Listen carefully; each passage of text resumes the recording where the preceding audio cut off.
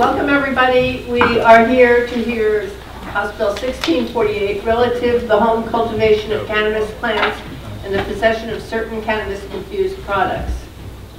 Nicole, uh, Representative McGuire.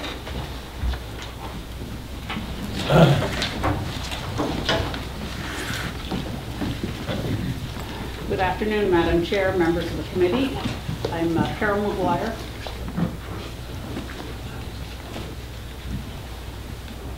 Is that better? No. You just pull the red button, push I the red did. button, it'll stay down. And Then it should work. You don't have to touch it. Recording session. Okay. I did press the red button. I think you have to put it closer to your mouth, the microphone. Okay, is that better? You you have to bring the microphone closer to your mouth. Is that better?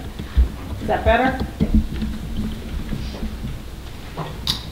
Anyway, I'm Carol McGuire. I represent Merrimack District 29, which is the towns of Allenstown, Epsom, and Pittsfield. And I'm here as the sponsor of House Bill 1648, which eliminates the criminal penalties for home growing and possession of cannabis.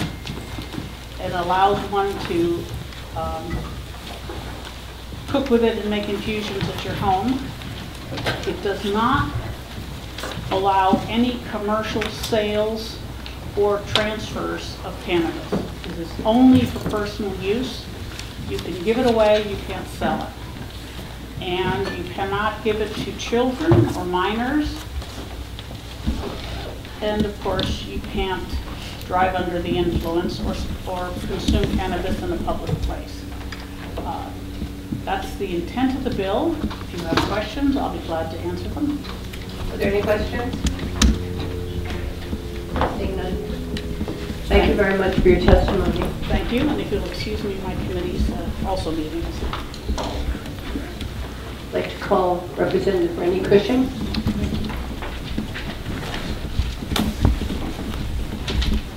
Thank you.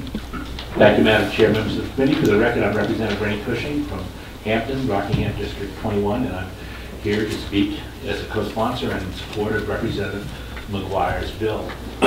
For four decades now, we've been wrestling with cannabis policy in the state of New Hampshire, and one thing that we've learned since cannabis was outlawed in the early 30s, uh, last century, is that the campaign uh, against cannabis has been a failure. That the making illegal has unleashed um, a, it has unleashed a whole series of unintended consequences. One of them being, and that's resulted in a lot of collateral damages, uh, particularly for people who simply use a naturally growing weed in a recreational manner. Um, What this bill will do is kind of put an end to that part. It does not provide for the commercialization of cannabis, but it does allow an individual in the live free or die state to use and possess cannabis and to cultivate it without fear of the power of the state coming down upon them.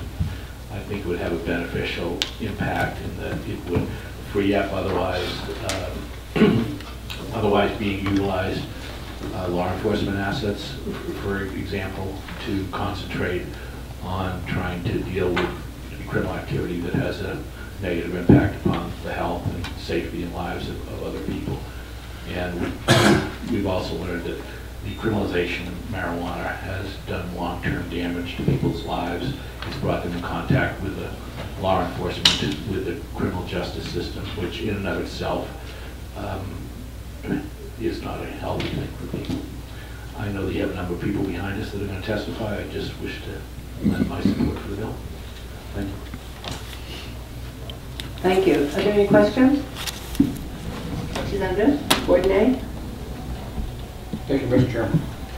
Uh, Representative Cushing, I uh, see that uh, the the analysis of the bill uh, indicates that there's a 300 milligram limit, uh, and they are complaining that would cost them $300,000 to buy the uh, equipment to do that analysis and uh, maybe another lab uh, uh, member. Is, are those concerns uh, realistic? I have absolutely no concerns about them. I- I'm not sure that there should be any resources diverted of the state police lab um, in the manner suggested by the the fiscal note. I think, as you know, last, I believe last year, the year before, we heard from the director of the police lab, um, who told us that subsequent to the decriminalization of up to three quarters of an ounce of marijuana for simple possession, that the expenditures of the police lab um, on testing for cannabis had dropped precipitously, eh, which resulted in savings for the state of New Hampshire, and the ability of that lab to concentrate on, um, on other things. So I don't have any concern whatsoever. I I don't believe that any more money should be spent on that.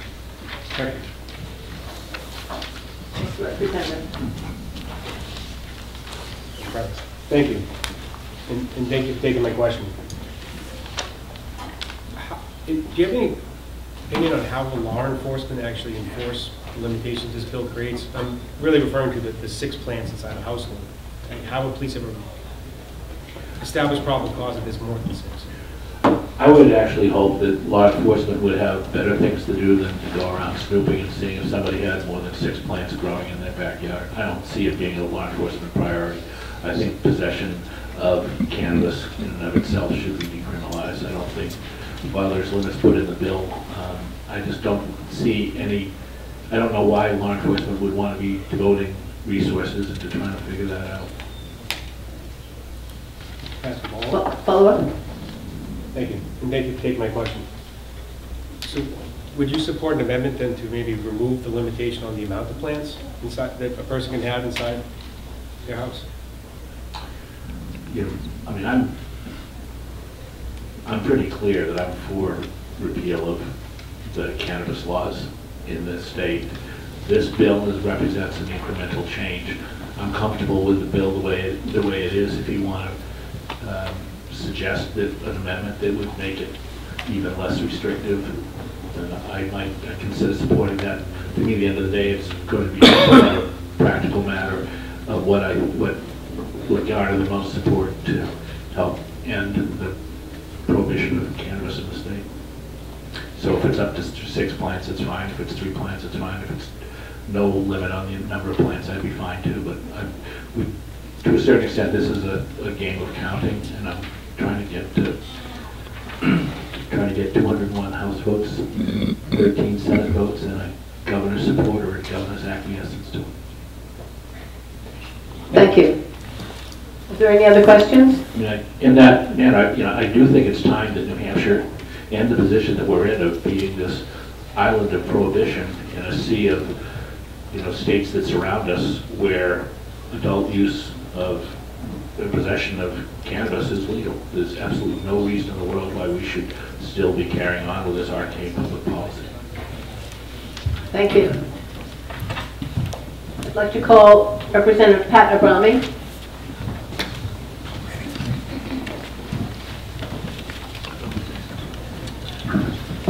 Thank you, Madam Chair. Uh, For the record, State uh, Rep. Pat Abrami, uh, Rockingham 19 Stratham. Um, I'm a Ways and Means guy, but uh, I also chair the Marijuana Commission, so that's why I'm here today. I'm going to speak briefly.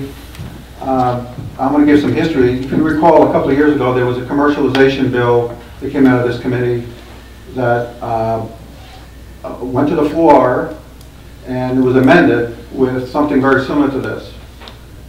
And there was a lot of confusion that day. I remember there was a lot of confusion, but it actually passed. And in, in error, because it stripped out commercialization, uh, the speaker didn't realize that, that the bill didn't have to go to Ways and Means because there was revenue. All the revenue was taken out of it. So it came to Ways and Means anyway. We worked it, uh, and when it came back to the floor, the vote that happened on the floor was turned around totally. It was, it was- what passed wasn't passed. Uh, I just want to give you a little of that history. Now, since then, we had the marijuana commission, uh, and I'll just put out, I'll point out a few things. One conclusion that the commission made, and we had a lot of recommendations in there, uh, was that if we, if we legalize, whether, forget about commercializing, if we legalize there should be funds from somewhere to fund addiction prevention and treatment. And you're gonna, you're gonna hear people in the back probably say, well, no one gets addicted to marijuana. Well, in my commission, in our commission, we had one day where we opened it up to testimony from the public. And most of the people who showed up were counselor-type people.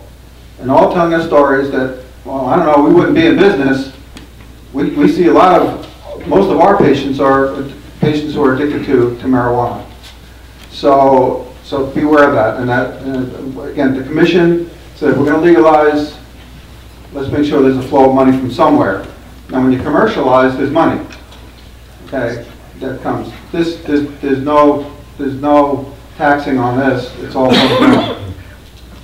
Uh, The other conclusions that we came to was that this isn't, and I've, I've said this before, many of you heard me say this, this isn't your grandma's or grandpa's marijuana anymore.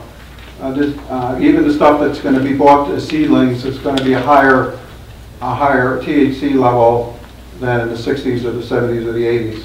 So just keep that in mind as well. And the, the, the, the, um, the final thought is the, is the vaping issue. Uh, you know, I, I guess, you know, I guess this bill allows for extraction. Uh, correct me if I'm wrong, but I, I didn't really study the bill that much, but extracting, that means you can do various things with it, infuse and all that. Uh, I'm assuming that you can also, uh, create, um, product that you can vape. And, uh, obviously, a lot of the vaping problems that we're hearing today are about marijuana-laced, uh, products. So, uh, just keep that in mind as you're uh, deliberating on this. So those are the main points I wanted to make, and, um, I'm up for questions. Are there any questions? There are no questions. Thank you very Thank much Thank you, for your testimony. I'd like to call Richard Van Wickler.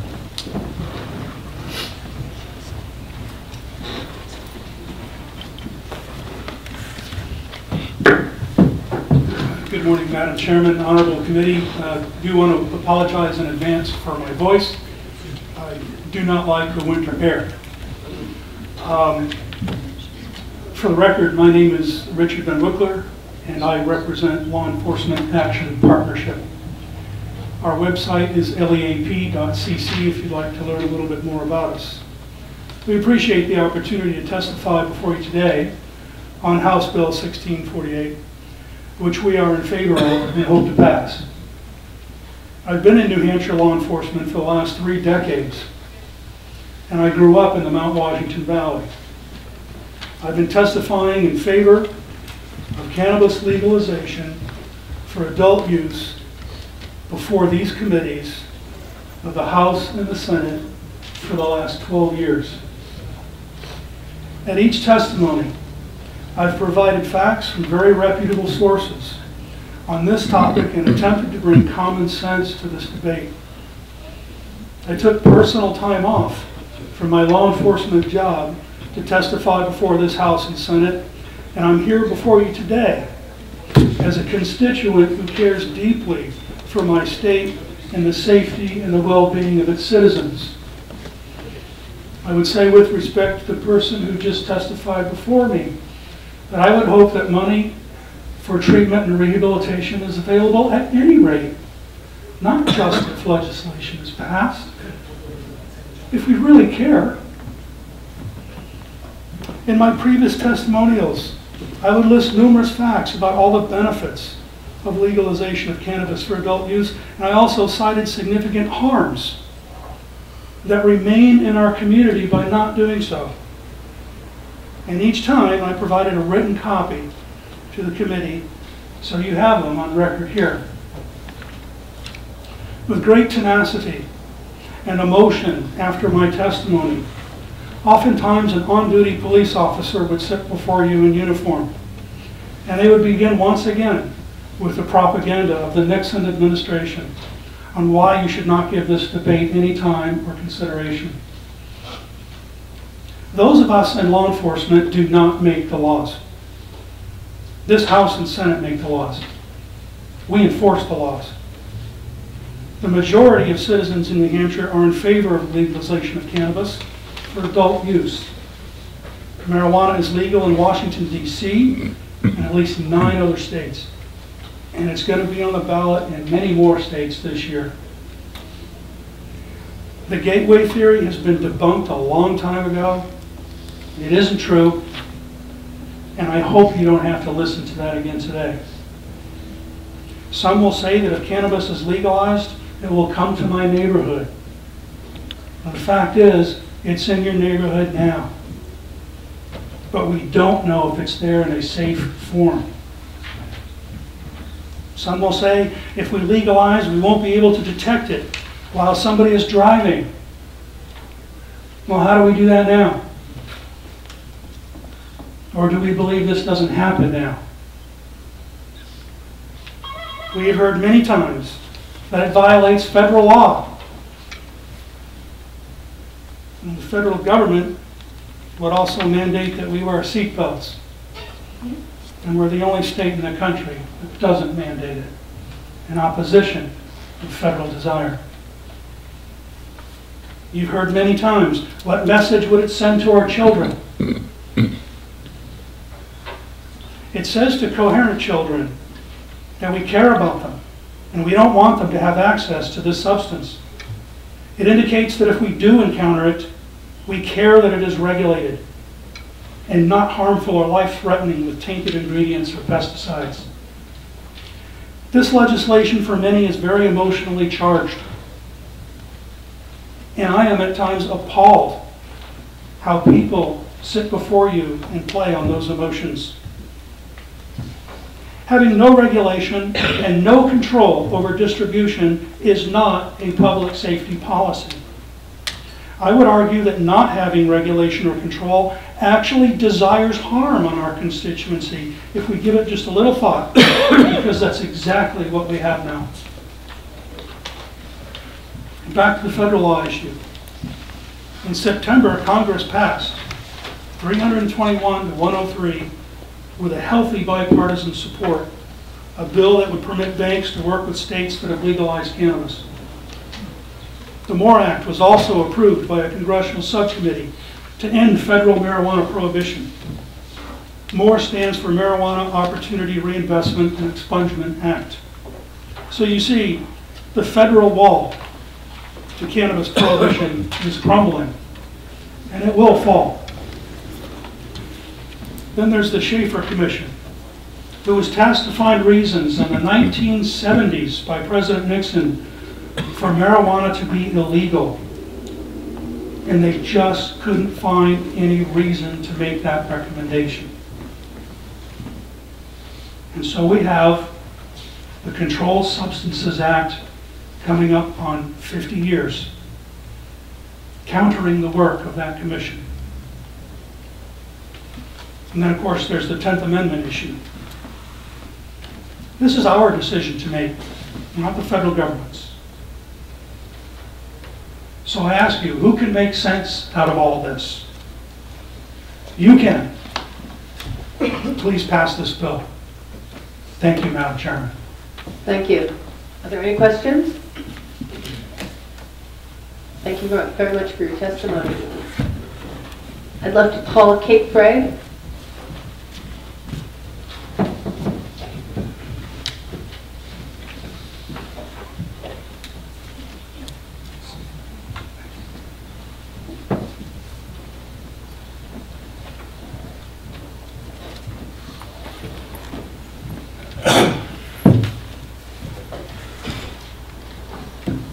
Good afternoon, members of the committee. My name is Kate Frey. I'm um, the Vice President of Advocacy from New Futures. We're a nonprofit, nonpartisan organization that works on um, health and wellness policies to improve um, the what health and wellness of the state of New Hampshire. Uh, So I'm really sorry I don't have written testimony for you right now. I will get that to you. Um, I think uh, HB 1648, I think as um, the four corners of the bill, for the most part, is um, legalizing and allowing um, possession and cultivation of a small amount. Um, we, uh, because it is not a commercialization bill, and we are pleased that it's not a commercialization bill. As you know, we have opposed commercialization in the past.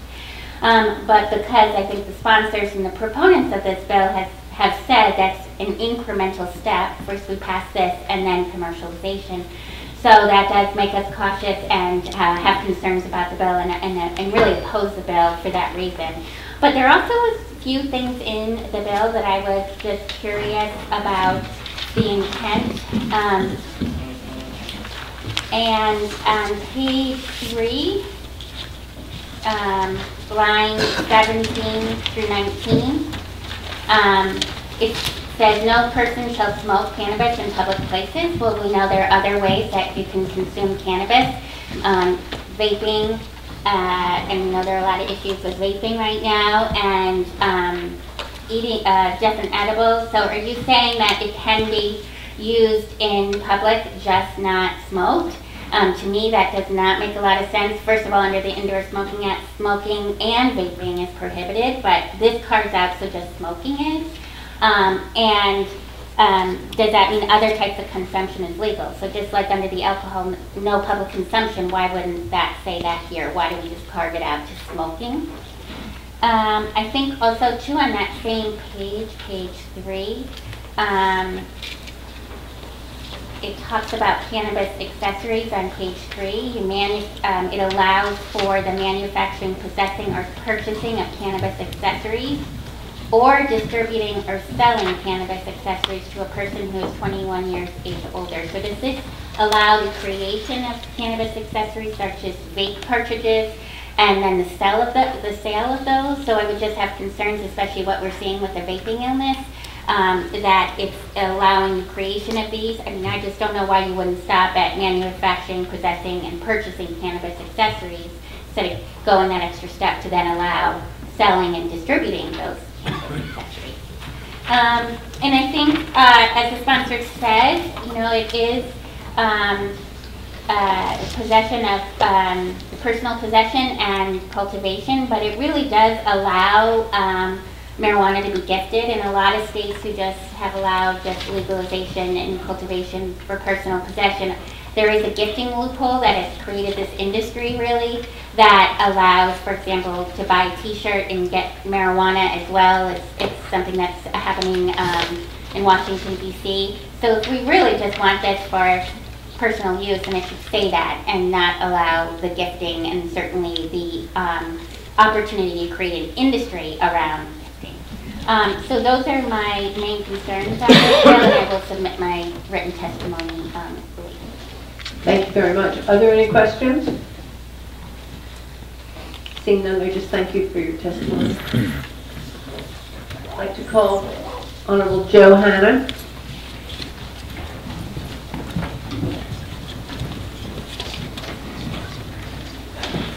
Thank you, Madam Chairperson. Thank you, members of the committee.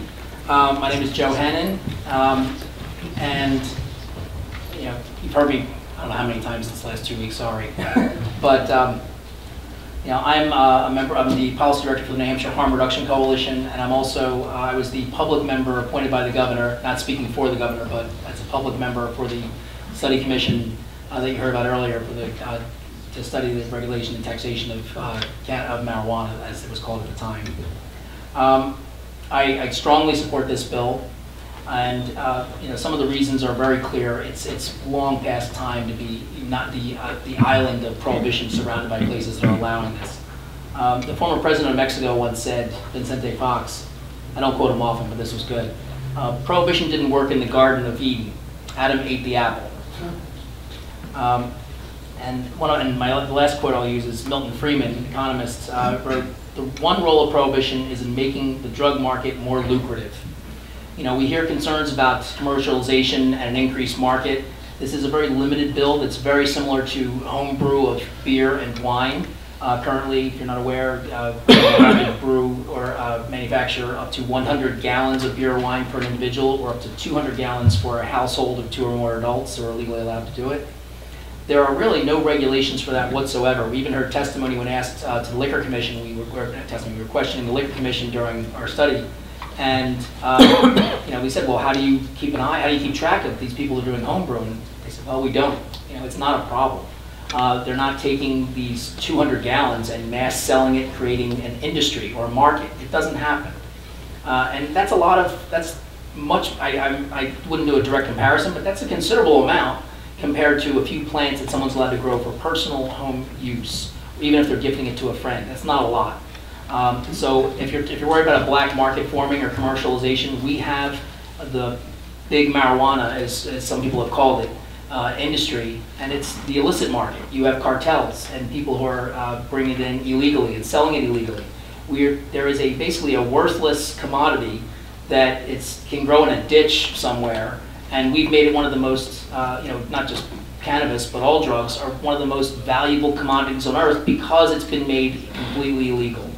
You know, by taking the illegality out of just one small part of that, we can reduce a large percentage of the illicit market. It's going to happen slowly, and I know this has been said to be an incremental step, and that's why some people may be opposed to this legislation. Uh, But, you know, let's focus on today. What is happening today? There are people who are risking their, their lives or their livelihood to go out and buy something from someone who may be of a, of a criminal nature. Uh, You know, people that sell uh, cannabis are not necessarily all bad people, most of them are not. But you have people that are going out, and people that sell cannabis might also be selling cocaine or heroin or fentanyl. I, I, I'm someone, you might have heard before, I'm someone in long-term recovery for over 28 years. And back in my younger days, uh, you know, I did a little bit of this myself, but I never was able to, uh, you know, I never went into a liquor store and was offered uh, cocaine or heroin from the liquor store salesman. It was always the person on the street in the illicit market. You know, you want to take that gateway, so to speak, because that is really the main way that anything like this can be considered a gateway, is being, allowing it to be, uh, continue to be sold by people in that arena. So if you want to remove that, make it more readily available to law-abiding, to citizens over the age of 21. It's still not allowed for minors or people under the age of 21, even though they probably will vote in your district between 18 and 21. Something to think about. Um, But, uh, you know, it's, a couple real brief things, sorry. Um, You know, we know that the criminalization is direct, disproportionately harms young people and people of color, and uh, massive violence has resulted in the drug war that we've had, and it does nothing to curb youth access. There's no problem, as someone who was uh, a young person doing these things uh, at the time, had no problem finding illicit substances. And even if you ask, there was someone from one of the youth coalitions who testified in the commission, and uh, they said, you know, it's, it's everywhere. Kids can get it so easily. And that's why we shouldn't make it commercially available. you know, I mean, that was, I'm paraphrasing, but it's everywhere. And you don't want to, you want to protect kids by not, by keeping it illegal. I mean, it doesn't make any sense whatsoever. It's easier for them to get illicit substances than it is to get regulated substances. It's harder, you have to, it's an extra step. It's still, they're still getting alcohol, they're still getting cigarettes, and they're probably still going to keep getting cannabis. That's going to happen no matter what you do today. But the- what you're determining today, what you're going to vote on later, is are they going to get it from a, a homegrown source, a re- more reliable source? Are they going to get it from an illicit source who may have given them, ac- may give them access to a harder substance that could be more detrimental to them? Uh, that was the gateway for me that led me to harder drug use. Um, you know, it's, it's one of the largest cash crops in this country. You know, it's, it's insane to not allow it, at least for personal usage. Um, you know, our scarce law enforcement resources could be better used to go after, you know, the- we're a safe state, but the few murders we have, rape, rape cases, other violent crimes, sexual assaults. A lot of these cases, uh, because of the war on drugs, have gone down in their, in their clearance rates. Police are just not as able to deal with the workload in some of those areas as they had been back in days prior to the war on drugs. I'd like to be able to get back to where they actually focus on violent crimes and people hurting other people. If someone wants to do something in the, in the privacy of their own home, it shouldn't be anyone's business as long as not hurting someone else. Um, As far as promoting consumer safety, you can't complain when you buy something on the illicit market that it was bad, if it was, you know, something that was harmful. Most of these vaping uh, cases that we've heard in in the news recently were all from the illicit market, and you're not going to have that if people are able to get a safer product in another way. Um, We know that healthy adults is relatively benign. If there are problems with usage over time, they're easily reversible in adults. And I'm not saying it's safe for children. Obviously, we don't, I, I'm in no way saying that children should be doing this, and it's, there is a problem with developing brains, and it should be, uh, you know, educated, people should be educated and convinced not to do that, but this is not the way to do it. You know, if we make something more inaccessible, kids want to do it. You know, if you tell an adult that's bad for you, most adults go, oh, I hear that's bad for you. You tell a kid that's bad for you, they go, oh, I wonder what that's like. You know, we don't want to do that anymore. We have to change the way we're thinking. We voted, you voted for this so many times in the past, the legislature has passed it, um, and this is the most uh, sensible way of doing, doing that. It's removed a lot of the fears for past opponents, and um, basically, there's, there's so many other things I could say, and you've heard them so many times, you're probably gonna know more, so I'll I'll stop and answer questions if you have any. Are there any questions? Yes, Representative Abbas. Thank you. And thank you for taking my question. I appreciate your testimony. It's always informed. I appreciate that. But if, on page three, lines seven through nine, it puts a restriction on someone cultivating, basically they cannot put the plant in their window if it's visible to their neighbor.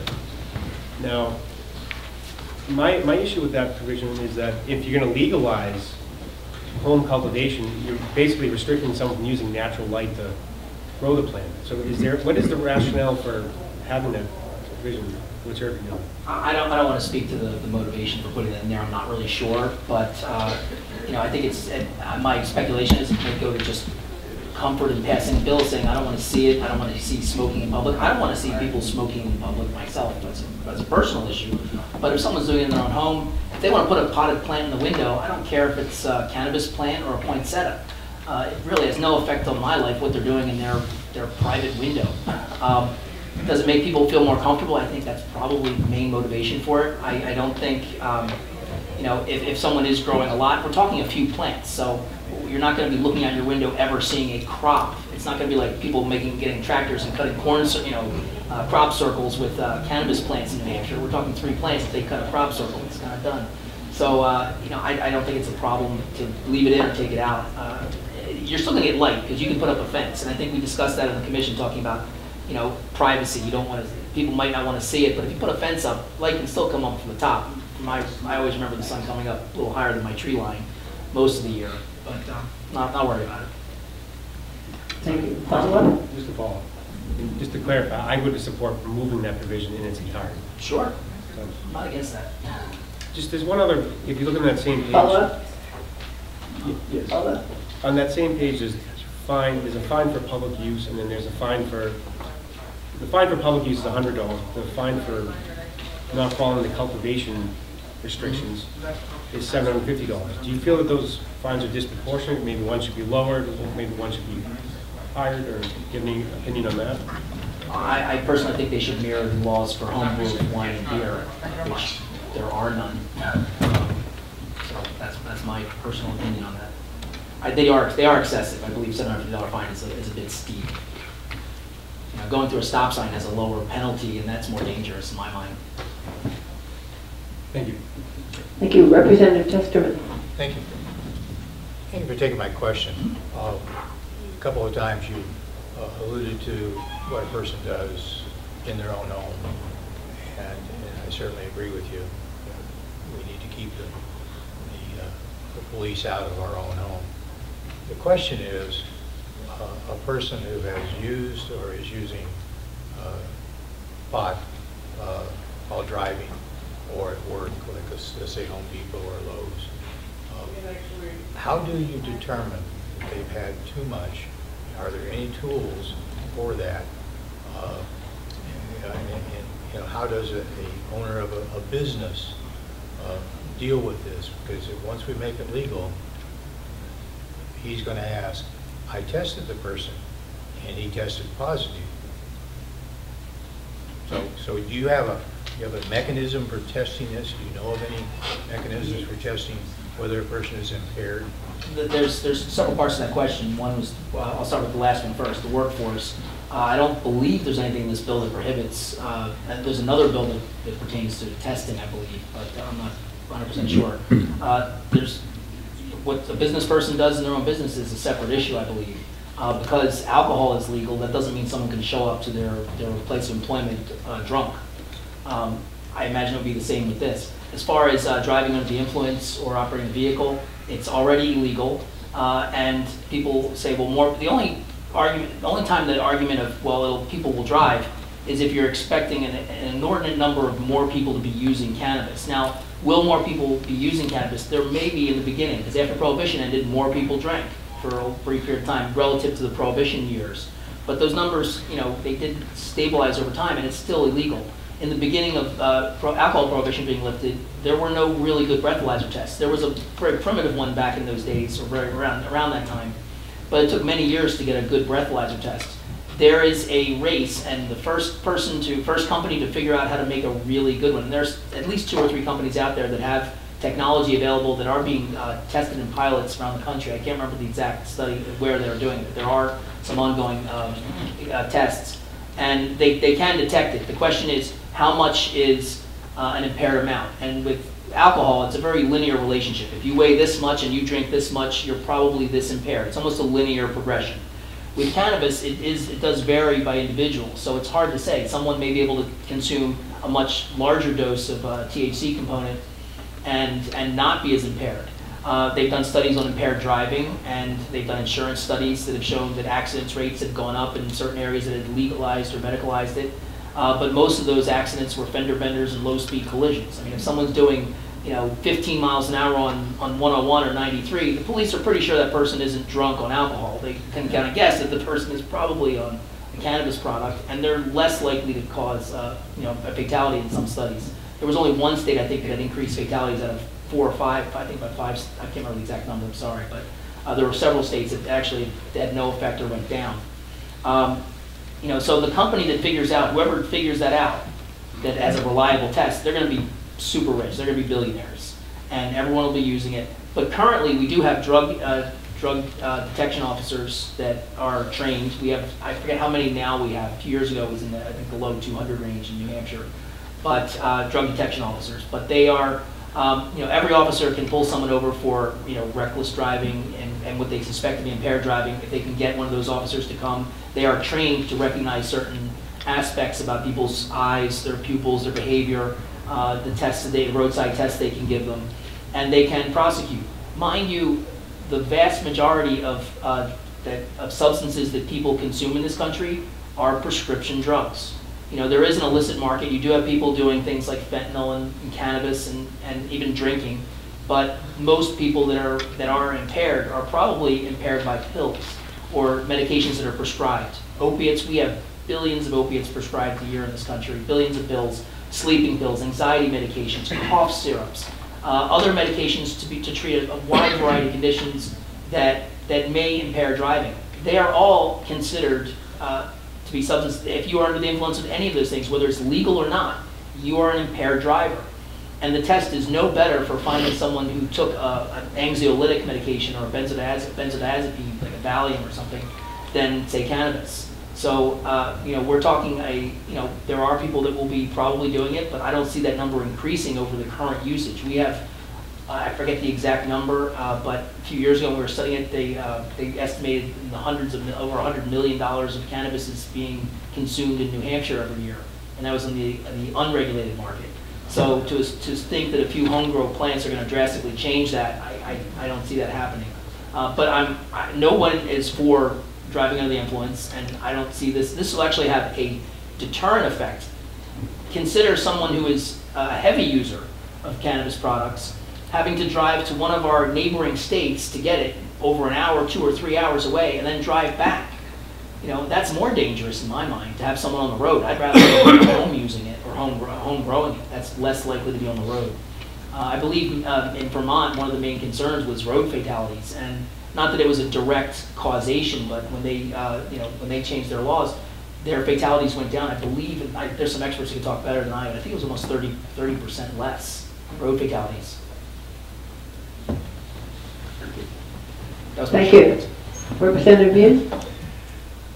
Yeah, I'm, I'm curious about your reaction to the argument that we shouldn't pass a bill like this because the strength of marijuana or cannabis has increased significantly.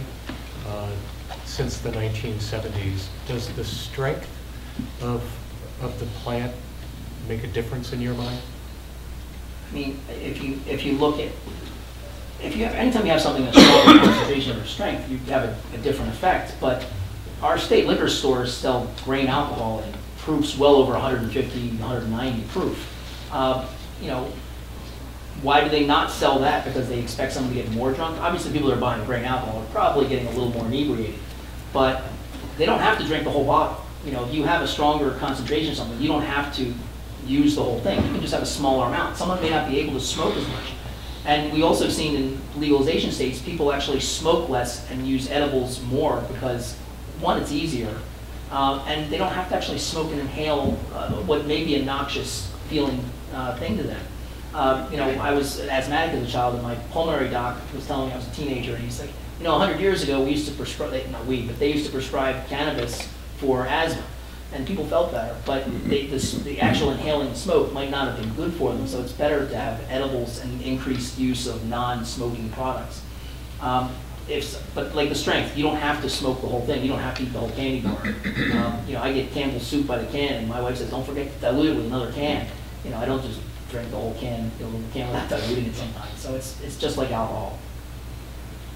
Follow up? Just, just a quick follow-up, so, so I understand.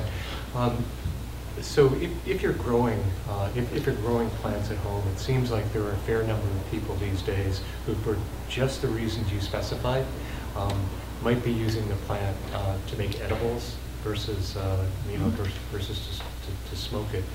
Um, i- In your mind, are there any differences in the usage patterns between people who favor edibles over smoking?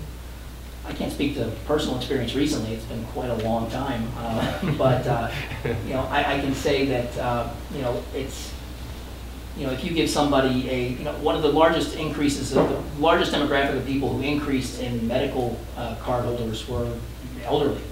You know, uh, there were people that once it became, uh, medicalized or therapeutic, they would start using it, because otherwise they wouldn't have probably used it, they would have probably drank and taken their opiates like their doctors were prescribing. But, um, you know, we know that uh, edibles are uh, probably a, a better way of taking it, so that you might have any, you know, mild risks of lung problems. It's not as damaging as nicotine and uh, other tobacco products as far as lung cancer. There's no studies that show it's, it's even nearly, it's not even the same ballpark as that. But um, the only problem, and I will say this, this was a problem originally in Colorado, um, they had an increase in uh, people going to the ERs. And they said it was, you know, I forget the number, was like a thousand percent increase, but we're talking maybe from like 44 to like, you know, a few hundred in a state with millions and millions of people, so a very insignificant number. But once something becomes legalized, you're more likely to go to the ER when something happens. If something's illegal, I'm like, oh, I don't know, I shouldn't go there and get, you know, why would you come forward with something that's against the law? But um, the vast majority of people, not the vast, many of the people they were seeing were, that were having problems were people who were eating edibles from out of state who were doing cannabis tourism in a sense. They came and they didn't understand that you have to wait an hour or longer. So they would eat the, the candy bar, the cookie or whatever, and then half hour later, say, this didn't do anything. Then they'd have another one. You know, you don't have that with smoking. And that is a problem, but that's easily solved by educating people. They could have a little sign in the store or someone to say, hey, you know, wait before you have another brownie. But, um, you know, with smoking, there is a much more immediate effect. Yeah. Follow up? One, one final question slash observation. Um, Would you be surprised to hear that um, my son and a lot of his friends consider this to be uh, their only hope for dealing with uh, my generation as we get older? You said it. Uh, I, I, I wouldn't be at all surprised, um, you know, but that is also the generation that brought us the Tide Pod phenomenon. Um, I, sorry, I'm disappointed, like, uh, I, I asked the, the head of the, uh, the, uh, the, basically the former, the cannabis czar in Colorado, after he stepped down, he was talking to our commission by uh, remote access, and, uh, um, I'm sorry, the medical director, and I said, uh, you know, there were 10,000 exposures reported to poison control centers in the previous year for consumption of, uh, you know, between the ages of, you know, X and, I forget what it was, like three or five and eight years of age. for this, you know, product, and, um, you know, they all were basically okay, but they had to go to the hospital, they went to poison control centers. Um, And it was for Tide, it was for laundry detergent pot exposures. I said, how many people out of those few hundred people that went to the ER for uh, eating a cannabis product that were underage, how- what's a bigger problem? Was the Tide Pod, was the Tide Pod or the laundry detergent a bigger problem, or getting into cannabis? I have a young daughter who, and my wife's an emergency physician, so she has poison control and speed dial. She calls up, they say, hi, doctor, you know, they know her by name, by voice. Uh, my daughter got into the cabinet when she was a toddler and grabbed uh, laundry soap, uh, dish soap, and drank it, and it was, she was okay. But my wife did the right thing, she called poison control, and kids get into stuff. So they actually made more uh, stricter packaging rules and things in their state for the commercial sale. But in a home, you know, they can get into anything. You know, uh, you can, the kid can, my, my son brought me a handful of those little plastic plugs you put into the sockets one day when he was two years old. He just had a screwdriver in one hand and a bunch of those in the other because I found these. You know, there's, you're not gonna stop everything from happening, but I think, you know, having people educated on safety and people, if something does like happen like that, a parent will be, if something's legal and they're not gonna get arrested for having those few plants at home, if by chance a a young person or a child gets into anything, that parent has no reason not to come forward and report that to poison control or get a doctor to see them and make sure that they're, well, they're, they're gonna be okay, but to, to get reassurance and actually get some care. Thank you. Thank you. Any more questions? Seeing none, I thank you for your testimony. You. I'd like to call Paul Twomey.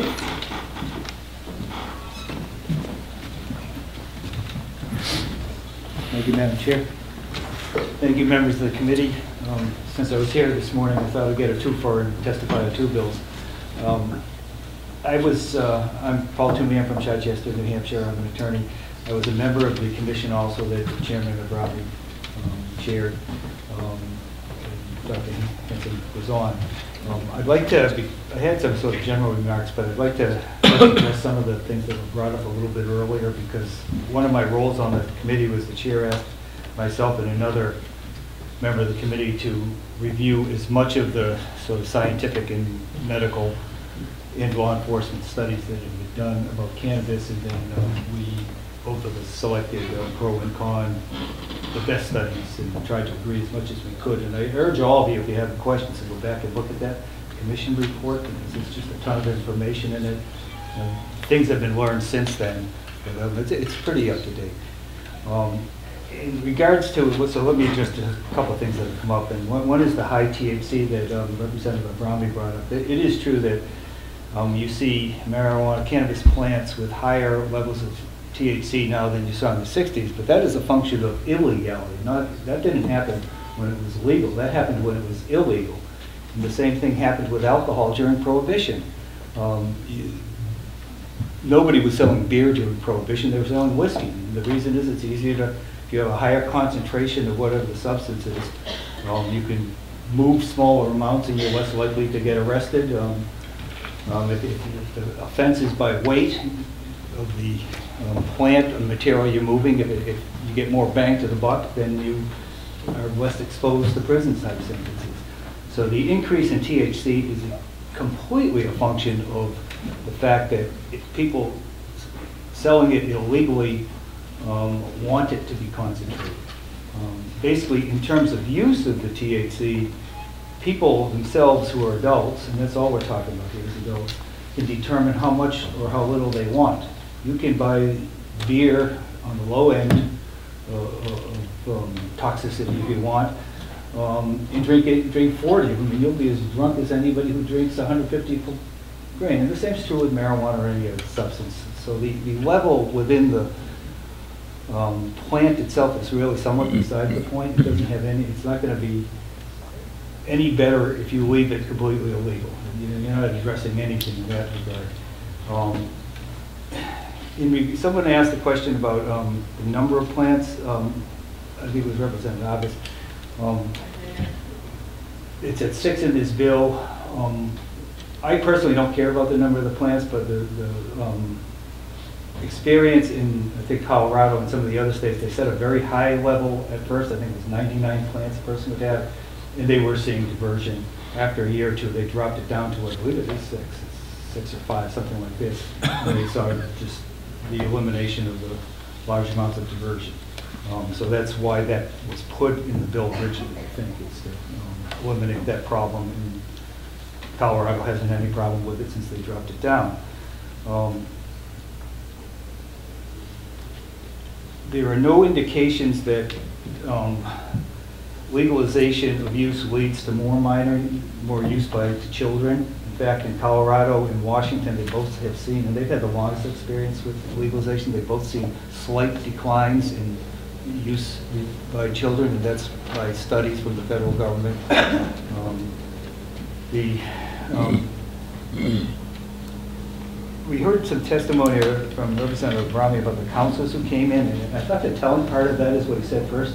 He said they would, we wouldn't be in business if you legalize it. Well, that's what it is, it's a business. And like, anytime anybody comes in to you and testifies, you want to know what, what their own personal interests are. And we heard from a lot of people who are in the marijuana treatment business, and, you know, it's not surprising that they don't want to have to go out and learn how to be a mechanic or something else.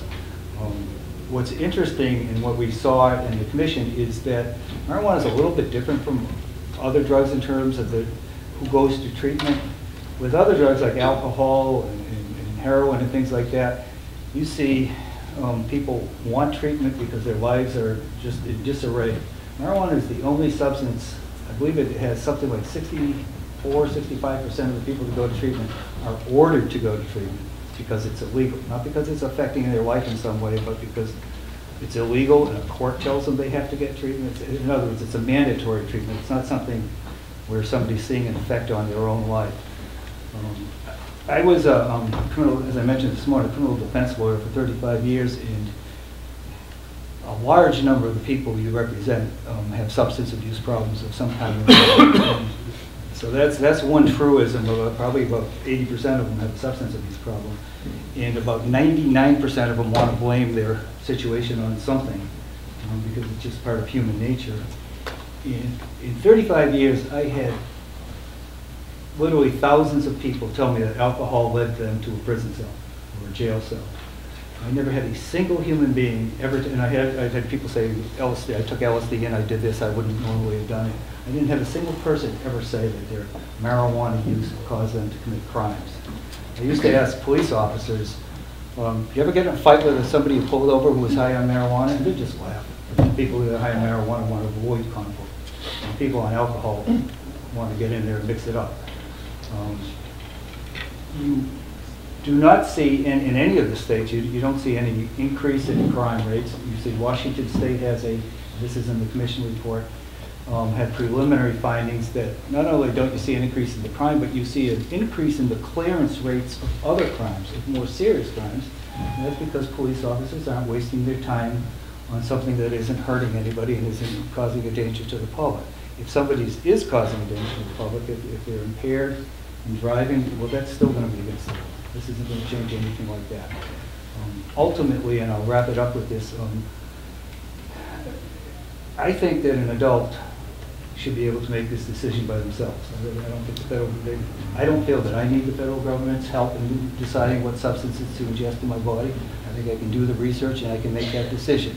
I don't drink, I don't smoke cigarettes, and I don't smoke marijuana. I make all three of those decisions myself, and I, you know, with all due respect to you people, I, I don't need your help either.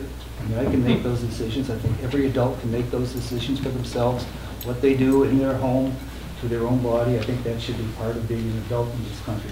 If they need help, we should do everything we can to get help, but ultimately, I think people should be able to make those kind of decisions for themselves. Thank you. Thank you for your testimony. Are there any questions? Thank you. Thank you. Is there Mr. Worsowitz here?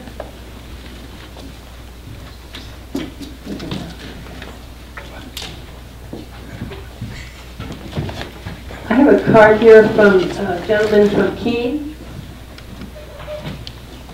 Nobody? Nobody.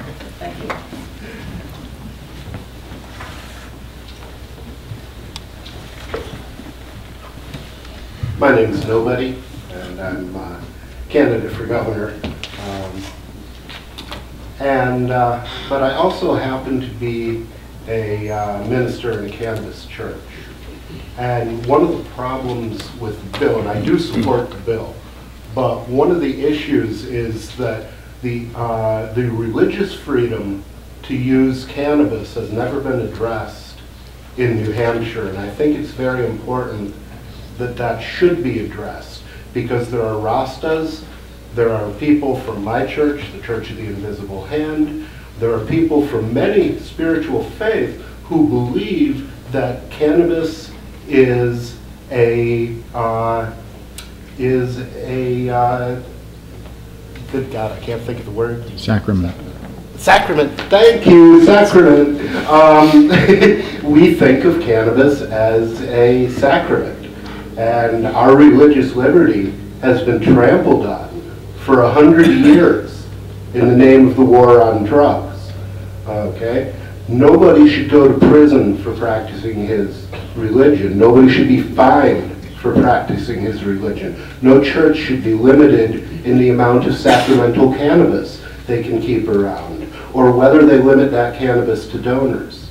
And this is a this is a very important um, issue that's been neglected. Now, of course, the Supreme Court has heard this argument and rejected it, but the basis on which they rejected it was it hasn't aged well. Because their argument was if people were smoking marijuana, as if people weren't smoking marijuana, if people were smoking marijuana, that would be such a breach of the public order that there would be dogs and cats living together, hell and brimfire falling from the sky. It would be a disaster. Well, people smoked weed then, people smoke weed now, and there is no disaster. The only disaster is the war of genocide that you people have been waging against us for a hundred years. That has been a disaster, you know.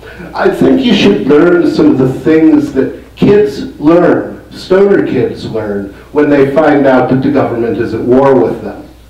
That the government will So, so stop just interrupt you, this, this bill is about personal um, use of marijuana, and it is, doesn't have anything really to do with religious use. And so if you would just speak to this bill, we appreciate it Okay, well, the, uh, I will, I will speak then on the issue that somehow it's going to be better for a kid to have a criminal record, to go to jail, whatever, um, rather than having a little bit of weed. And I would suggest that you change the minor in possession section of the statute to calling their parents.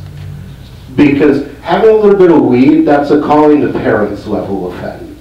It's not a, let's, let's take legal action against this kid offense. The idea that kids should be subject to more criminal, uh, criminal liability than adults kind of flies in the face of, uh, of reason when you think about it. I mean, we're going to attach a criminal penalty to your behavior because your mind is not well enough formed yet to make decisions that have a lasting impact.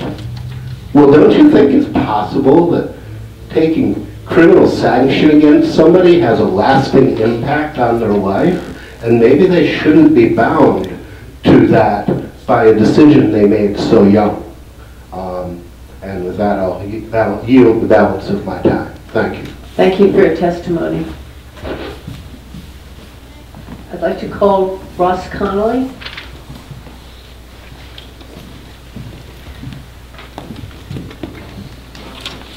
This on? You have to put it close to you now. There we go. Thank you, Madam Chair and uh, members of the committee. My, uh, For the record, my name is Ross Connolly. I'm the Deputy State Director for Americans for Prosperity here in New Hampshire. I'll be as brief as possible since I don't want to be repetitive and respectful of your time. Uh, I'm here to voice our support for HB 1648. Uh, And I'll start off by saying, we don't support legalization because we think that cannabis is good and that people should be using it and there's no problems associated with it.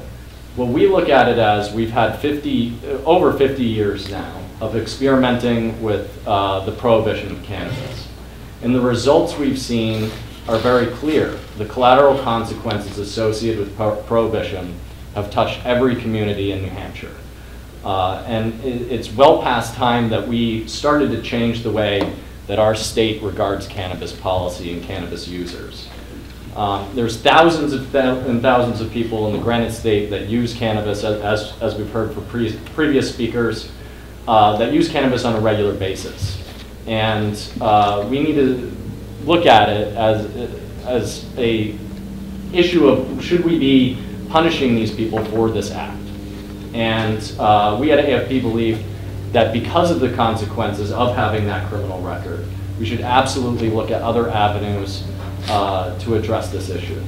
And uh, just from a little historical perspective on this bill, um, so last year we supported a bill called HB 481, which would have set up a commercialized, uh, regulated market. This bill does not do that. And, and one of the reasons behind that is during the legislative process last year, we listened to the feedback of opponents to that bill.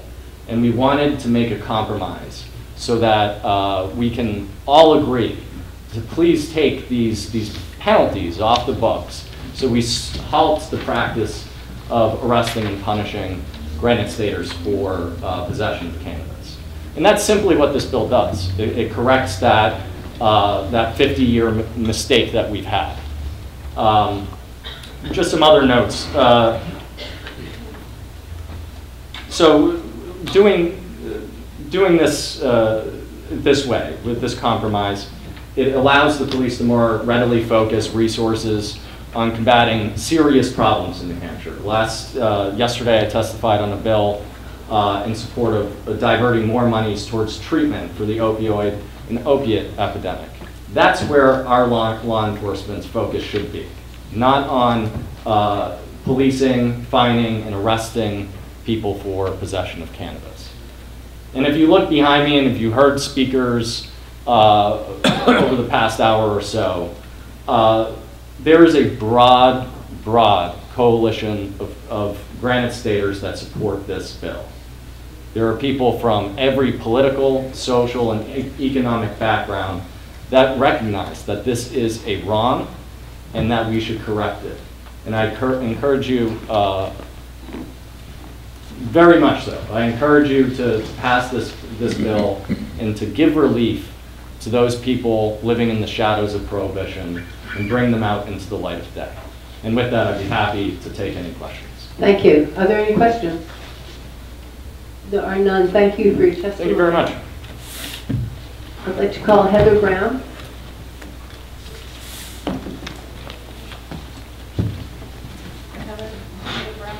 Heather?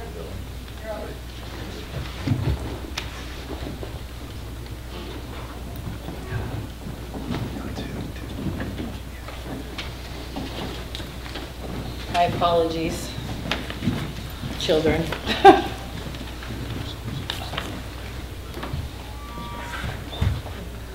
So, hello. Um, My name is Heather Marie Brown, and I am a resident of Barnstead, New Hampshire, born and raised right here in what is supposed to be the live free or die state. Um, Currently, I am a therapeutic cannabis patient, so I am, at this moment, allowed legal access to cannabis. Um, The only reason being, because I have that cute little fancy card that allows me to use therapeutic cannabis.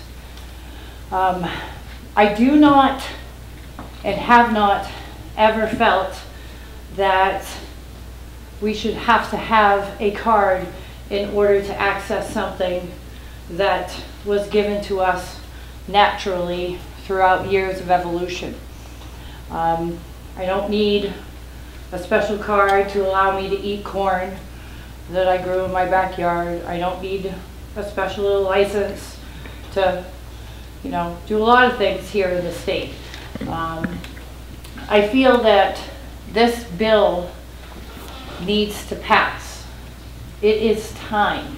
New Hampshire potentially that right now, counting New Hampshire, there are potentially 40 states by the end of 2020 that will either already have recreational cannabis available to them or are in the process of acquiring those new laws and regulations. Um, We've also seen, as you've heard, there is a huge shift at the federal level.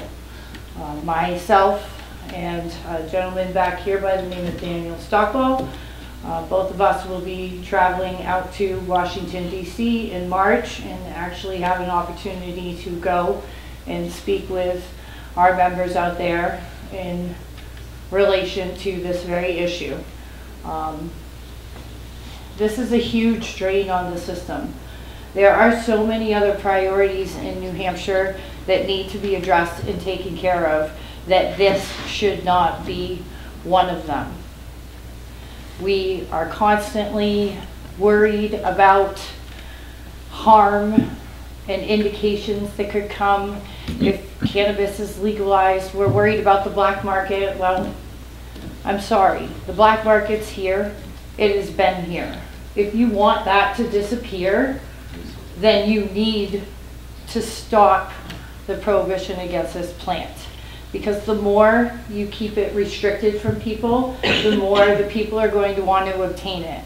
And that's where you run the risk of the dangers associated with it. Um, You know, it, it was funny, I loved your comment you made, um, but as far as the edibles versus smoking, uh, I myself actually prefer to eat edibles, um, and I find myself using edibles less than I would have inhaled flower. So I don't know if that gives you any indication, but there is a difference. It's a personal preference of mine. Um, I also know that when I go to make these products, I'm not putting myself in any jeopardy. In fact, some of you have probably already done some sort of extraction or combination cooking in your own homes, and that's pretty much the equivalent of how I make myself a batch of cookies or a batch of brownies. So there's really no danger associated with that either, in my opinion. Um, I think that there is a stigma around this topic, and I think that there's a stigma associated with how individuals that use cannabis are. And I, for one, would like to tell you that we're not all a bunch of Cheech and Chongs. We're not all a bunch of people just with low IQs and low intelligence and, you know, low motivation, sitting around doing nothing but eating chips and playing video games. Many of us are very active in our communities. We're parents, we're professionals, we're business owners. We are actually quite successful. Some individuals may even roam the halls in these very buildings. So I, I think that that stigma needs to go away.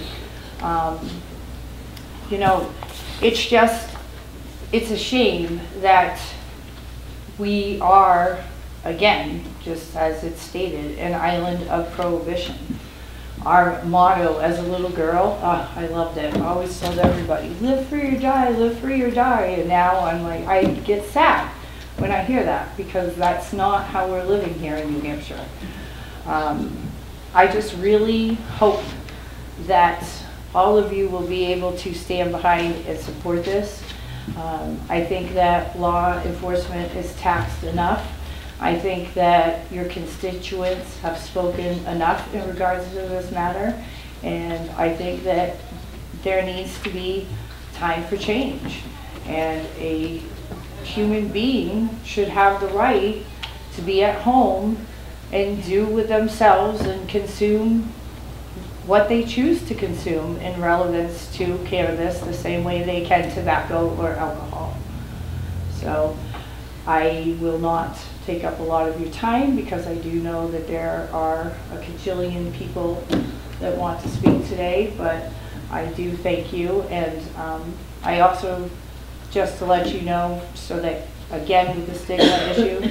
I also happen to very proudly be a um, patient representative member for the New Hampshire Therapeutic Cannabis Medical Oversight Board.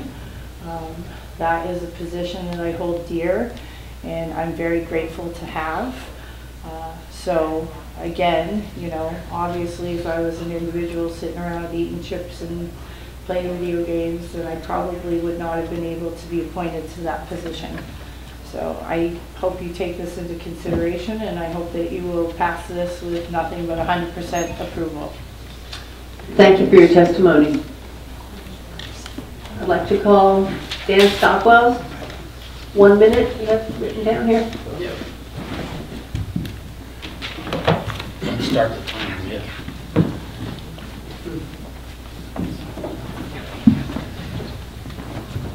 Um, Hello, um, my name's Dan Stockwell, and I'm from Dublin, New Hampshire.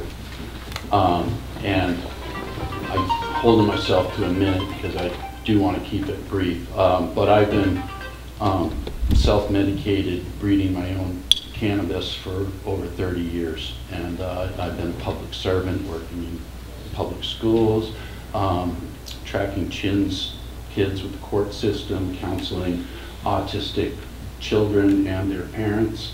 Um, I have asked diagnosis of Asperger's syndrome myself. And, uh, growing up with the live free or die motto, um, I think it's more relevant today than ever. Um, for me, that's always been a dark thing because I never felt myself as living free in the state and the option. Well, I was suicidal my whole life, and that's what that motto represented to me. And just uh, in the last couple of years, I think one one year we had 122 uh, gun deaths in this state, 96% of them were suicides. Um, but those rates actually go down when you look at states that have legalized, mentioning that.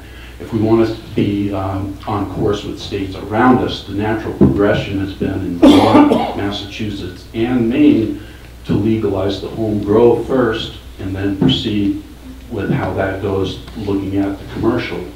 And all those places have gone on to commercial, so obviously the home grow um, uh, went okay. And, and uh, I, I also feel a lot of the people in the state, um, like Heather mentioned, we go to DC uh, with an organization called Americans for Safe Access, and they're the largest organization um, uh, promoting uh, therapeutic use of safe access to for therapeutic use and research.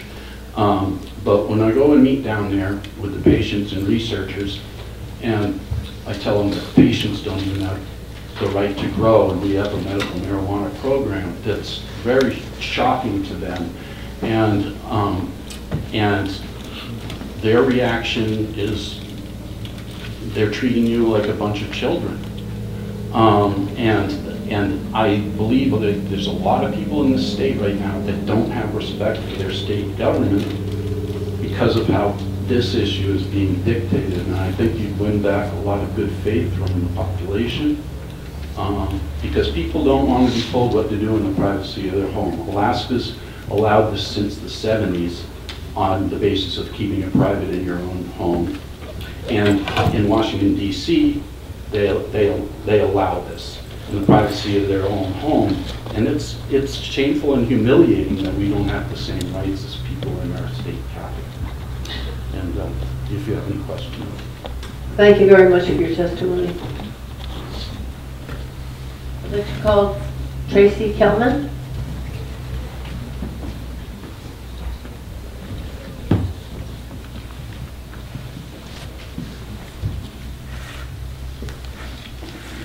Hi, uh, my name is Tracy Bowman Coleman. I am from Harrisville, New Hampshire, and um, this is the first time I've been involved in any of these proceedings since they've been going on, and um, I find that somewhat embarrassing.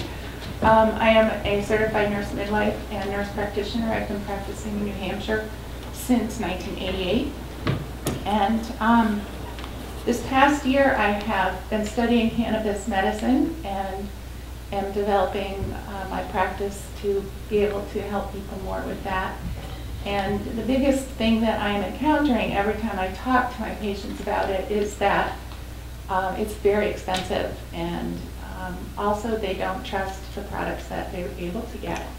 So being able to grow your own medicine is extremely important to people. And um, also of note is the largest population of people in the United States beginning to use cannabis that maybe never have are people over the age of 50.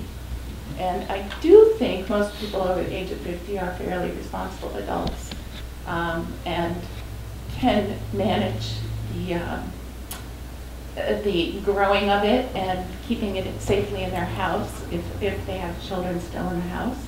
Um, and knowing whether they're incapacitated or not, whether they should be driving. Um, so I urge you to support this bill, and uh, I think that's all I need to say. Thank you very much for your testimony. I'd like to call, excuse me, Lisa Powers.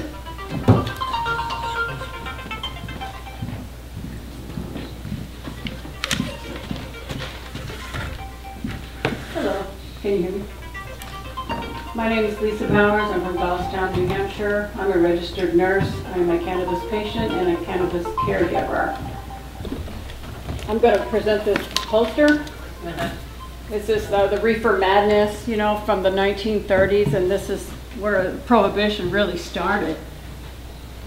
Pictures, anyone? Um, The reason why I have this is because I uh, put it on easels. I have a few of them actually, and I, I do panel discussions and try to educate the public on the safe use. As a nurse, that's what we want to do. We want people to be safe. Uh, my journey started when my son actually needed it for a severe case of epilepsy. He is an adult. I hadn't used cannabis for 30 years because I didn't want to. I did it back in the 70s like everybody else did practically. But I had to dive back into it because I heard about CBD, you know, it's from cannabis as well. They call it hemp, but whatever. And when I did that research, I discovered that the whole prohibition history, I never knew about that. During that research, I found myself getting angry and tearful and very distrusting of my government. And I'm a law-abiding citizen, at least I'd like to say that I am. But I have broken a couple of laws since I had to get medicine for my son. We went through the proper channels. We got our uh, card, and I was so excited to get him some CBD for his epilepsy. The dispensaries didn't have any. They said we didn't know when we would get any, and I was devastated. So I did go to Massachusetts. I went through it as a mother would. I wanted to help my son. But during that research and discovering why it's prohibited, just blew me away. It was just propaganda. It was just stories. This, cannabis doesn't do this. It's not about reefer madness. It's kind of a funny thing, but um, to me, laws are developed to protect. What crime are people committing by using this plant? I don't know. What, what are they doing to harm? I don't know. I can't think of anything. So I think it's a little ridiculous. There, if we want to allow adults here in New Hampshire to use this substance at home, we should. I mean, it's ridiculous that we want to stop them. And like uh, the lady before me spoke, the demographic who's using cannabis the most right now is over 50. I mean, it's exploding. Because they're finding that it's a relaxant, it helps them sleep. They don't drink alcohol hardly ever when they start using cannabis, which cannabis is a liver protectant. So, hey, more, more people should be going that route, I think. Uh, I've watched people die as a nurse, bedside, from nicotine addiction and alcohol addiction. They couldn't stop. But no one ever died because they used cannabis every day. Do we have people that use it too much? Yeah, especially the young people. They do it now when it's not legal. They're probably going to do it when it is, you know, they were doing it when it's illegal. They're going to continue to do it. Just like we have people that drink too much and kids that get into the parents' liquor cabinet. That's not going to go away. But as a nurse, I think we should be educating the public. We should have like billboards and sessions at the library. We need to educate people, especially with the edibles, You can have some not fun experiences with that. Um, I have had that experience myself, so I know how to educate people in that for sure. Um, But I think we need to be sensible here in this state. We're, we're adults, and it will affect the black market, and I want it to. That's all I have to say. I guess you can tell I'm for. Yes, thank you. Sorry. Thank you for your testimony. I'd like to call Jean Hruska.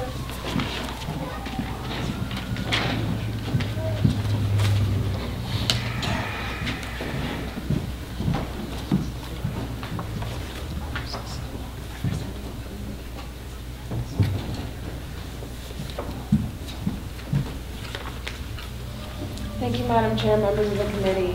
I'm Jeannie Hruska, I'm the political director for the ACLU of New Hampshire. Maybe you could speak into the microphone. And I'm here to testify in support of HB 1648.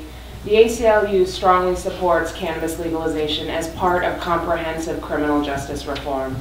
We have been so encouraged by this legislature's bipartisan support for criminal justice reform in recent years, including debtor's prison, bail reform, and cannabis decriminalization.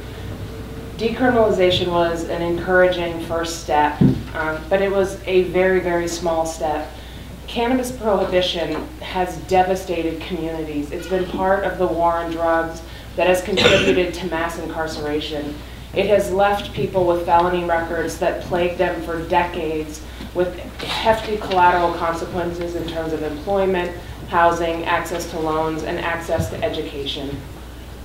More importantly, cannabis prohibition has been disproportionately enforced against communities of color.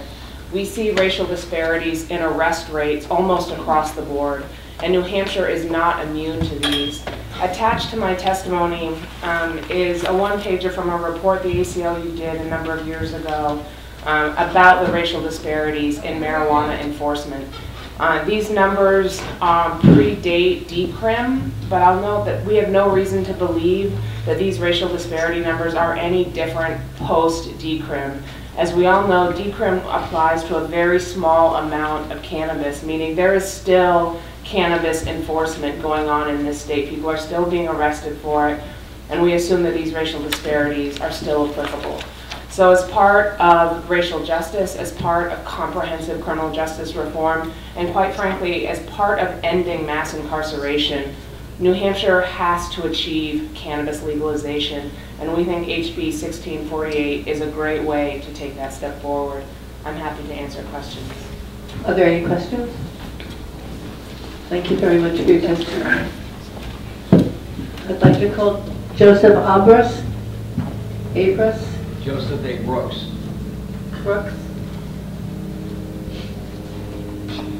That wasn't a good pen you wrote with. No, no, it wasn't, but it was what was provided, so I did my best. Okay, sorry to mispronounce it.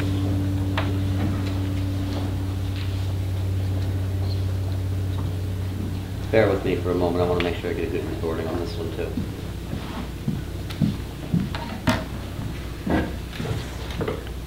How's it going, everybody? My name is Joseph Allen Brooks. And I was born in Manchester, New Hampshire at Elliott Hospital on March 3rd, 1983 to Wanda Jean Harding and Richard Sherman Brooks, a New Hampshire medical cannabis patient. And I think HB 1648 should pass. New Hampshire's motto is and always has been live free or die. I remember growing up, my mother telling me courageous stories of presidents and other great people in our government and why the people fled England. Our forefathers came to America to look for gold, slaves, and land. Our forefathers who drafted our Constitution and our Bill of Rights were also known to have grown, used, or sold cannabis and conceived some textile uses for hemp. Cannabis prohibition began in an era of ignorance, was lied about and demonized. Abuse of power, discrimination, assault, even murder have been tools of the officials enforcing control over a plant. Not to protect children, but to close out a potential game changer in the textile and cotton industry. At the order of the President Richard Nixon, the war on drugs, cannabis, was created. It is believed by many that Nixon scapegoated marijuana, cannabis, with other harsh known drugs at the time as a tactic for his unknown personal endeavors. Potentially Nixon could have privately made a deal by, sorry, made a deal by shifty business strategies to create a monopoly by excluding one of the only main contenders that could compete for business with cotton and tobacco industry. Motive in this situation would have been rather straightforward without spending millions to retrofit the new equipment and current cotton business.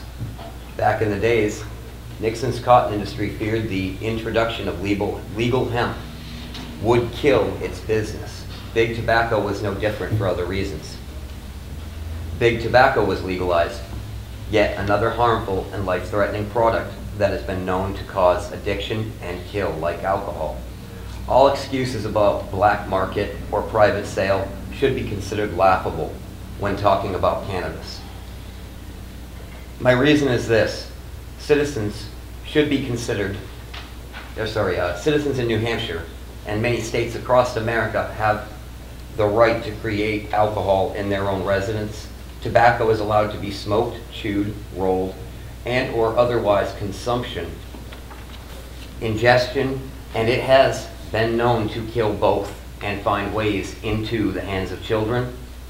Decades without illegalization, along with alcohol, both knowingly causing numerous problems such as birth defects, cancer, and other medical issues like liver failure.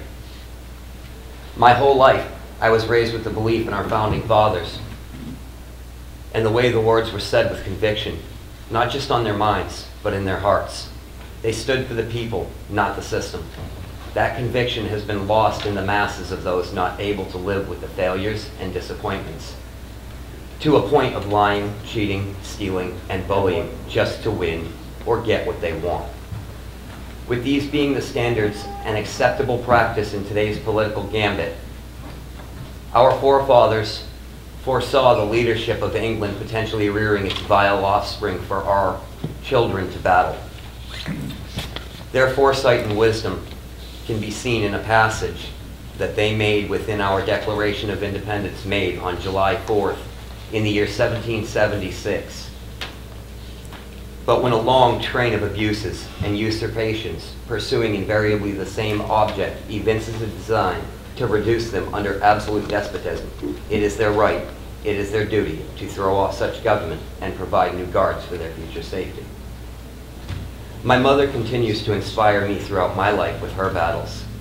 One of many examples my mother has left in mine and other people's hearts is fighting the racism our society has recently heaped onto the backs of our African American citizens. When I was about nine years old, we moved into a section of town of Breckenridge, which was referred to in a racist manner, so much to a point that even the U.S. Postal Service of the town engaged in that racism by refusing to deliver mail to my own teacher and our town teacher. Mrs. Wilson, a middle school teacher for the town, couldn't get her mail delivered on her street. Two months later, later, my mother set an example for me and our entire town. They got mail, so did we all. Over the years, our presidents have made examples to the rest of our politicians to try and shape their candidacy, to emulate, emulate each muse they are pandering to. I can bet so many politicians said to the first medical patient of New Hampshire, so many times, we are working on it. If I get it in, I'll push for it. California realized and legalized cannabis in 1996 in an act of compassion New Hampshire took until 2013 to do for stage 3 lung cancer patient Linda Horan, leaving her a few short months of reduced suffering with her family. When cannabis is a, uh, is a topic associated with politics, it's like asking who wants to take out the trash in a frat house. Everyone is responsible for it, no one wants to touch it. And I'm sure it has to be hard to be the signature that puts drugs in the streets in your in the streets you represent. But it's the same way of thinking that led to the opioid crisis in America. If you treat someone like a child, they are most likely going to act like a child. When medications are unavailable or overly controlled, individuals or citizens have no actual reason to practice self-restraint, self-control, or self-awareness. Sure, it's hard and scary to make the cannabis signature behind so long a line of vetoes in the past. We are supposed to be the next generation, not simulating the accepted, most spoken of successes, but actually getting smarter, more humane, and actually standing out for something unique and better. No, I'm not a soldier, but it certainly has to be hard as hell to get on a bus, a plane, or a boat for politicians whose signatures decide your fate, mortality, every day and night, and even the fate of your families. What happens when your vets and your citizens see you as too hard to get behind? I have a lot more page, and there's a lot more important people than me to speak. I'll donate the rest of my paperwork if there are any questions. Thank you very much for your testimony. Are there any questions? Seeing none, I thank you for your testimony. Thank you. I'd like to call Mark Sisti. Interest in this matter.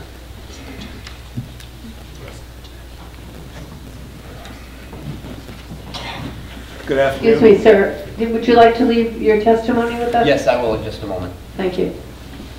Good afternoon. Good afternoon. Uh, My name is Mark Sisti. Uh, I live in Gilmanton, New Hampshire. In July of 1979, I took the New Hampshire bar exam in this very building. And- Would you mind speaking into the microphone? Yeah, I think it's... I think it's not close enough Just to- has to be closer no. to you. How's that? Better? Yeah, I took the bar exam in this very building, and uh, I was honored for the last 41 years to be a member of the New Hampshire Bar, as well as the Vermont Bar. And I've been a criminal defense attorney for those 41 years. I've had the uh, wonderful experience of practicing in several states. And in fact, you already heard from one of my law partners that I I worked with, Paul Twomey, earlier. A lot of the things I've already wanted to say have been said, but let me emphasize a few things. The real problem with marijuana in the state of New Hampshire, the problem that we have, is that it is illegal. That is the problem.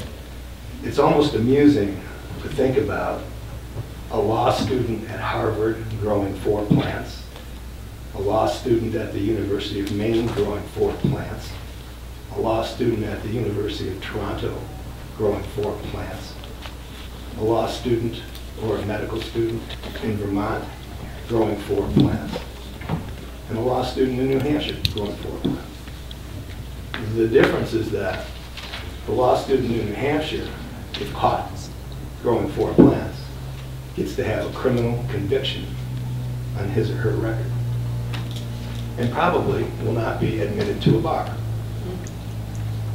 So it's not only that we are an island prohibition, we're an island that is denying rights and benefits to a lot of our youth a lot of our citizens.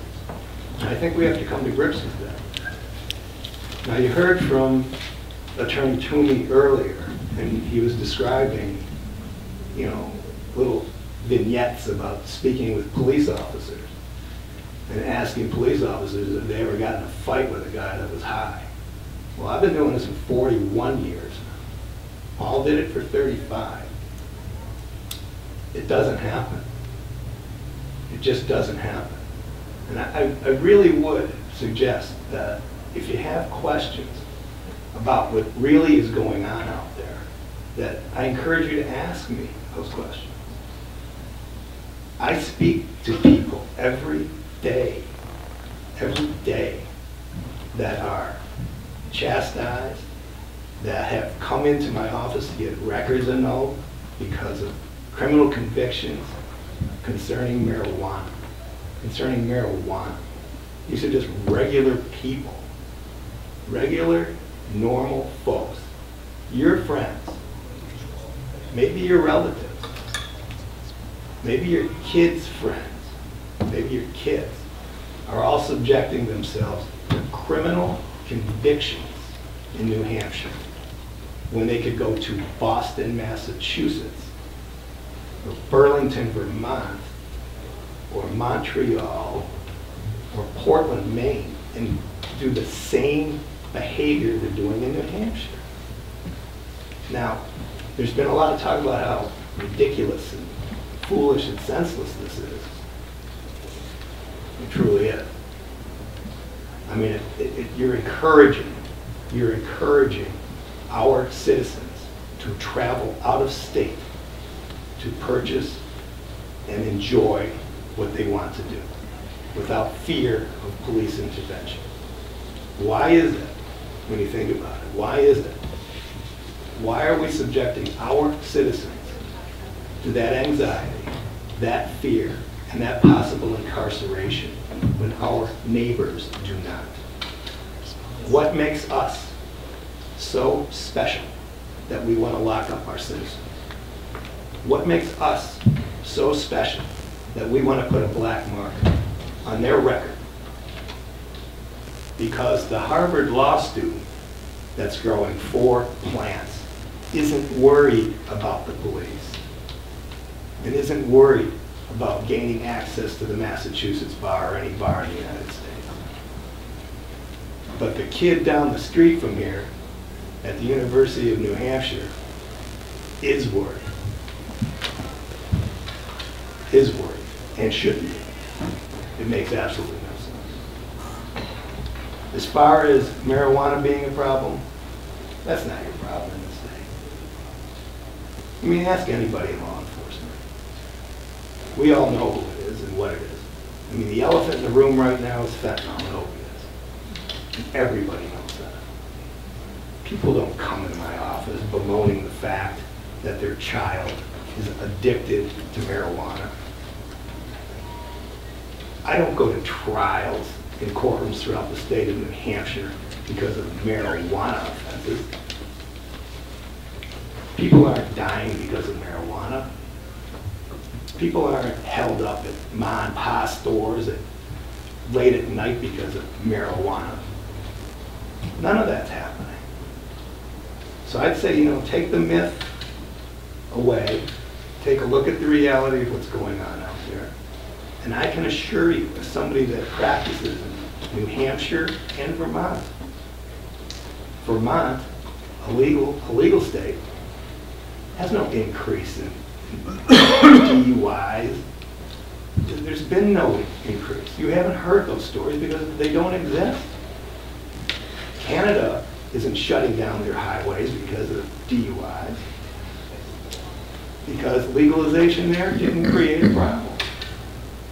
The folks that are smoking or utilizing marijuana today in an illegal state are going to be the same folks that are using it when it's legal. And you know, you can make predictions about all kinds of things, who's going to win the Super Bowl and everything else, okay? There is no question, none whatsoever, that sooner or later, sooner or later, New Hampshire will come to its senses and legalize marijuana. I I pray that it's sooner. And unlike folks that uh, treat drug-addicted individuals as their business, I represent individuals charged with crimes. I'm speaking against my monetary interest when I'm discussing this matter with you. I'm, I'm telling you the way it is. If I was telling you that I had a financial benefit in this, I'd say make everything illegal. But this is just absolutely foolish, and it has been for the last 41 years that I've been practicing. I would appreciate any questions that you have. Are there any questions? Seeing none, I want to tell you, I apologize for not putting you together with uh, your partner. No, that's okay. Okay. Thank you very Thank much you. for your testimony. Boris Rapier?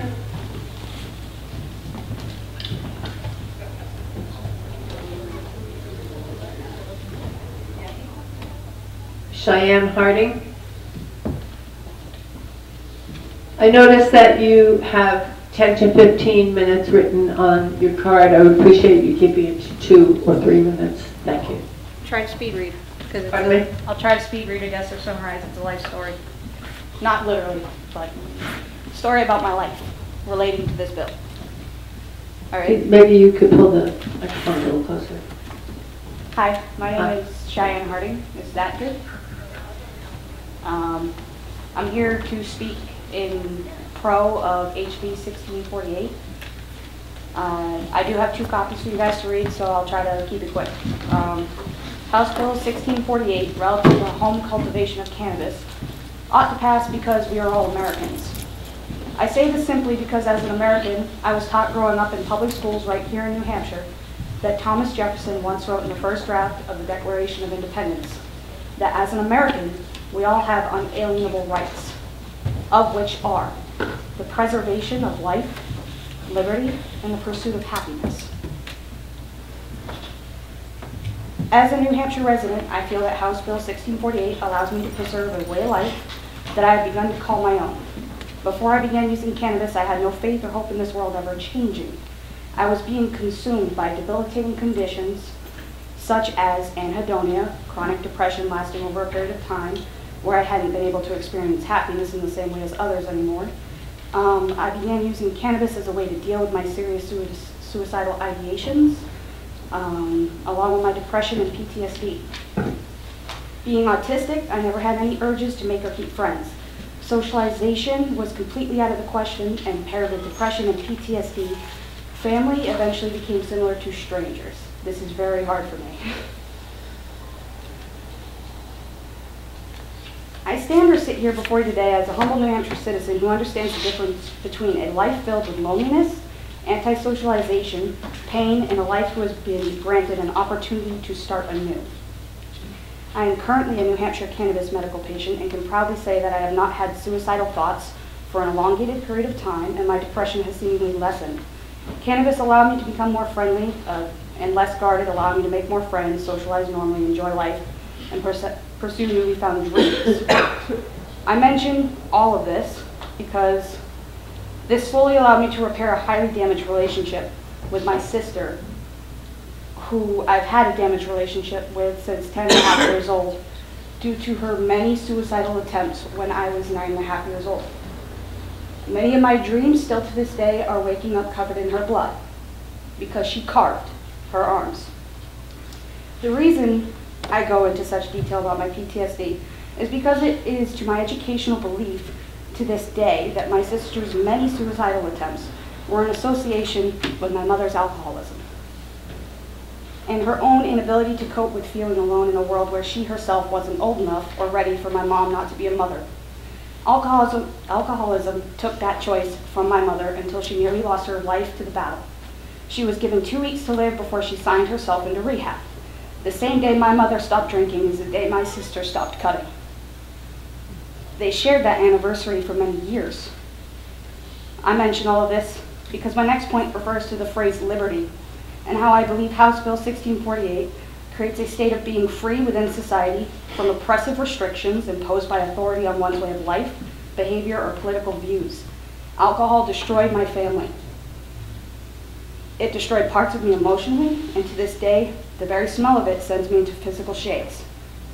I feel it is my liberty to have a choice to both use cannabis medicinally, but also recreationally, as HB 1648 refers to granting every adult New Hampshire resident the liberty to have a choice in how they reduce stress or relax within their life at home residence.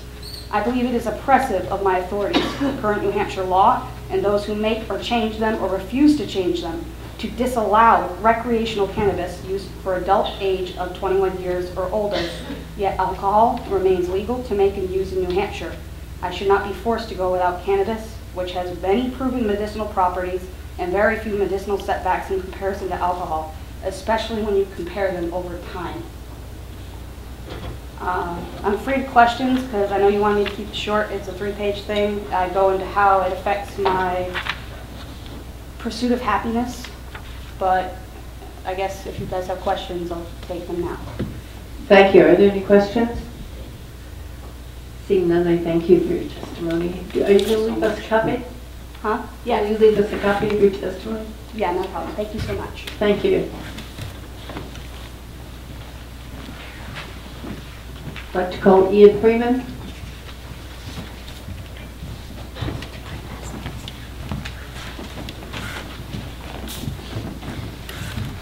Hello, everybody. Good, uh, good afternoon. Thank you for being here. Thank you for paying attention, and thank you for the great questions so far. Um, I've been coming to these hearings for probably more than a decade, now, and uh, you know, there's been a lot of discussion. There's been a lot of really good points made over all the years, and one thing that is significantly different about today's hearing is there's not, I don't think I've seen anyone from law enforcement here. And I've come to these hearings for a long time, and there's almost always at least a couple of cops, the chiefs of police and other. Uh, There actually was somebody from law enforcement who supports the bill. That's wonderful to hear. I, I didn't mean to include Rick Van Wickler. He's been a long time opponent of, uh, of prohibition. I mean the, the usuals. Um, they're not here, and I think that's a really good sign. I think that's, that tells me at least that maybe they're giving up on this issue. We didn't hear them trot out uh, the many lies that, and misinformation that have been uh, proliferated over the years, so I'm grateful for that. Um, I just want to tell you a little bit about my history. I've had a long history with cannabis. Uh, I discovered it when I was 16 years old, and I was fully uh, indoctrinated with the Drug Abuse Resistance Education, the DARE program, where they had told me that cannabis was uh, tantamount to heroin, and that it was all the same, that all drugs were the same, they were all bad and very dangerous. And when I found out that that wasn't true, when I first tried cannabis for the first time at age 16, that made me wonder what else it was that the government had been lying to me about. And it uh, definitely led me to fear the police. It led me to not consider the police to be friends, uh, but instead a you know very dangerous group of people that could hurt me and could hurt my friends. And in many cases, they have done that. Uh, my life would not have been made better if I had been arrested at that time when I was 16 or 17 or 18 or any of those years. It would not have made my life better if I had been just given a ticket and then forced into the court system or worse, forced into some sort of a government uh, so-called justice system. That doesn't make a teenager's life better. And I think that's, that leads me to one of the, the problems with this bill, and I support the bill. You know, if you pass this as is, it'll be a great step in the right direction, so I want to be clear on that. Um, but it treats young people as though they are children, and they're not.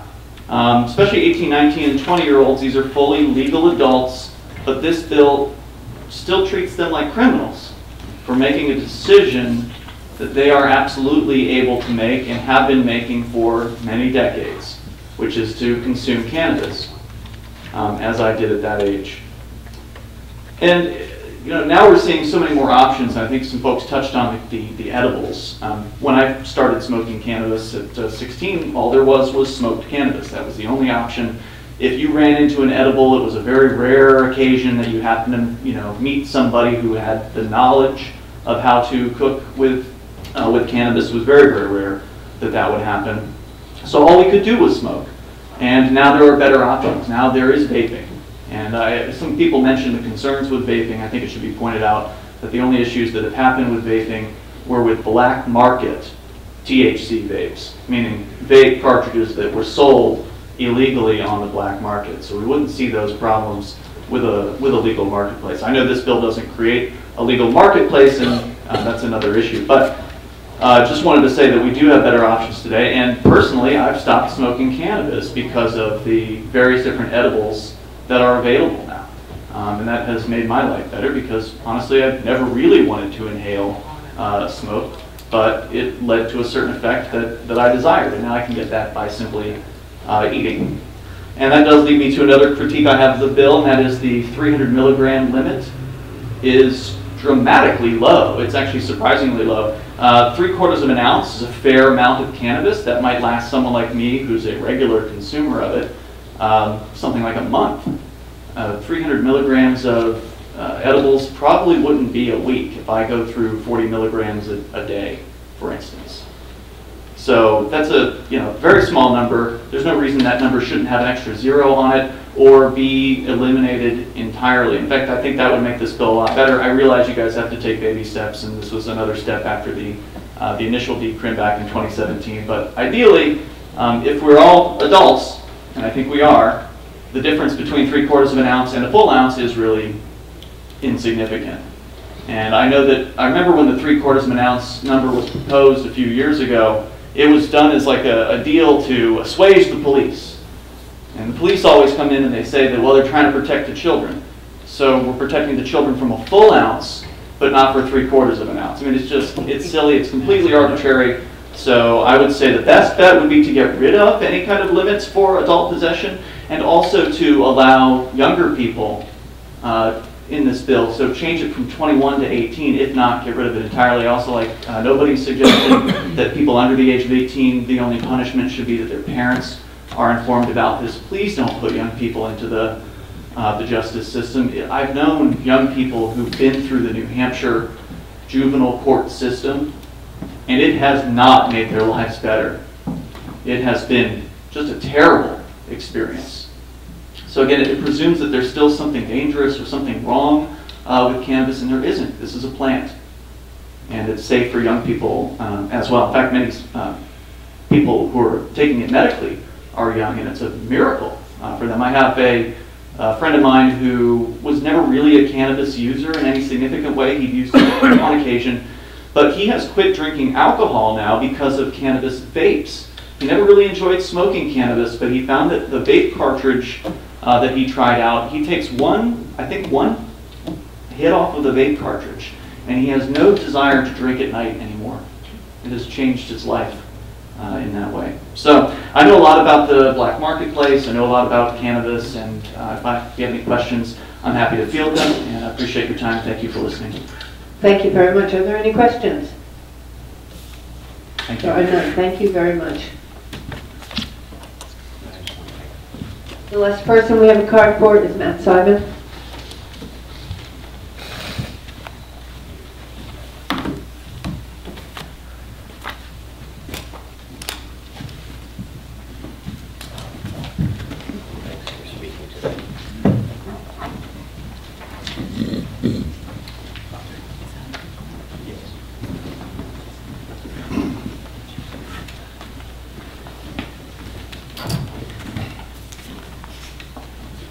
Thank you, Madam Chair, Honorable Committee. For the record, my name is Matt Simon.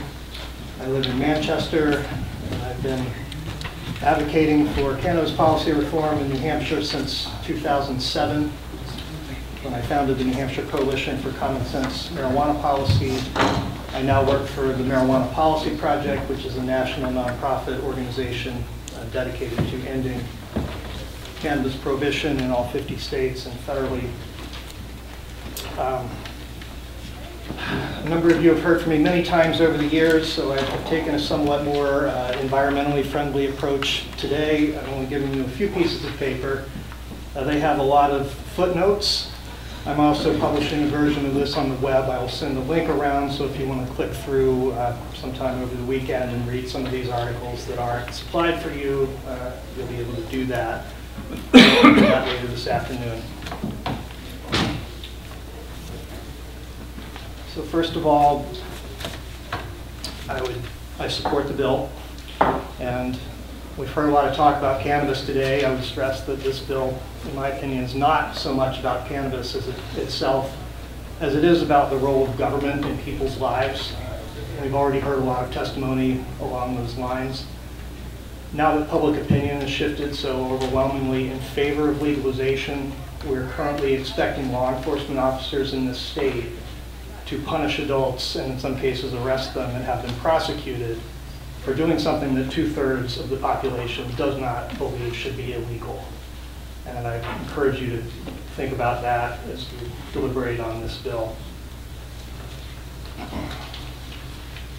We've now had two polls in a row in New Hampshire that sh- show 68% support for legalization. If you look at the, the first uh, one pager that's provided, uh, it shows that cannabis legalization is actually more popular than any elected official in New Hampshire.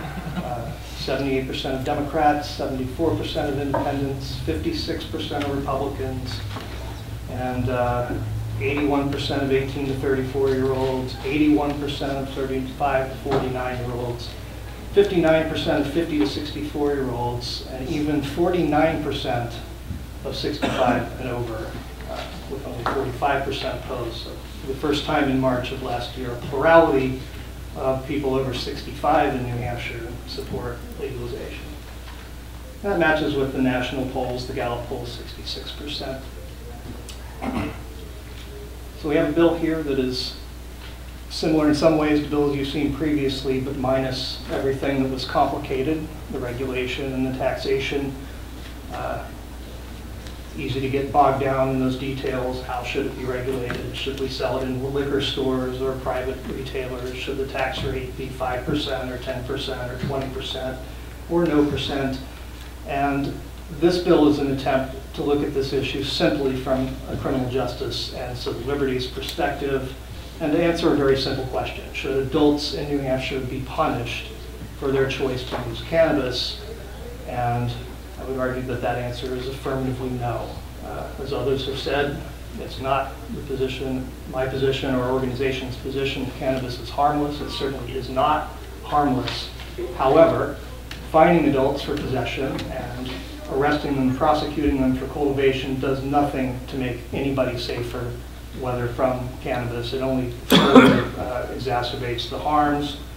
And if somebody does have a problem with cannabis dependence, and it does exist, it's much less common than, than alcoholism or uh, other forms of, of drug addiction. But for somebody who does have an issue with cannabis dependence, I would argue that the worst thing that we could be doing to that person is putting them into the criminal justice system, fining them uh, if they're growing plants, charging them with a felony, does nothing to address their addiction problem. It's a criminal justice response to a health problem. And that's the kind of thinking that I hope we're able to get beyond. One aspect of the issue has changed in recent years, which is that every state around us has moved forward. I want to briefly uh, correct some of the previous testimony on that. So cannabis is legal for adults in, in all neighboring jurisdictions. Uh, Massachusetts is the only state that has currently a, a legal regulated market. There are over 30 stores open in Massachusetts. Six of them are within 15 miles of the New Hampshire border, so it's uh, certainly available to anybody who can cross the southern border. Maine, which voters legalized in Maine in the same year Massachusetts did in 2016, but uh, the, the implementation of that uh, regulated market hasn't hasn't materialized just yet. They're expecting the first stores to be open within the next few months. So at that point, the eastern border will likely be dotted with, with legal cannabis stores. And in Vermont, uh, which was the first state to do this legislatively, uh, did not create a regulated market in the initial legislation. This bill is very close to being identical to Vermont's current law. Um, they are currently in the process in the legislature of working on a regulated market bill. Uh, it's passed the Senate already in a vote of 23 to 5. Uh, it's passed the House Committee 10 to 1. But I cannot predict for you whether it will uh, ultimately become law this year or not. Uh, but certainly retail sales are happening in Canada, happening in Massachusetts, on their way to happening in Maine, and, and likely to be happening soon in Vermont. So what that means for people in New Hampshire, uh, I've been saying for years that anybody who wants cannabis in New Hampshire already has access to it, but for whatever small minority of people didn't already have access, they can now drive into Lowell or to Salisbury, Massachusetts, which is right across the border from Seabrook, or to Gardner, Massachusetts, or uh, they're, they're, they're kind of scattered along the northern border, but anybody who has cash in their pocket can go to Massachusetts, buy cannabis, and return with it. So should we be fining people? Is that an adequate, uh, smart use of criminal, limited criminal justice resources? Argue that the vast majority of people would, would say no. So I'm going to turn to a few of the comments and questions that have been raised. Uh, so first of all, Kate Frey mentioned uh, a gifting loophole. I believe she was the only person that testified against the bill. And it sounded like most of her objections were based on certain details, one of them being this gifting loophole. So if we look at page two, uh, lines 32 to 37, this is addressed very clearly and explicitly in the bill.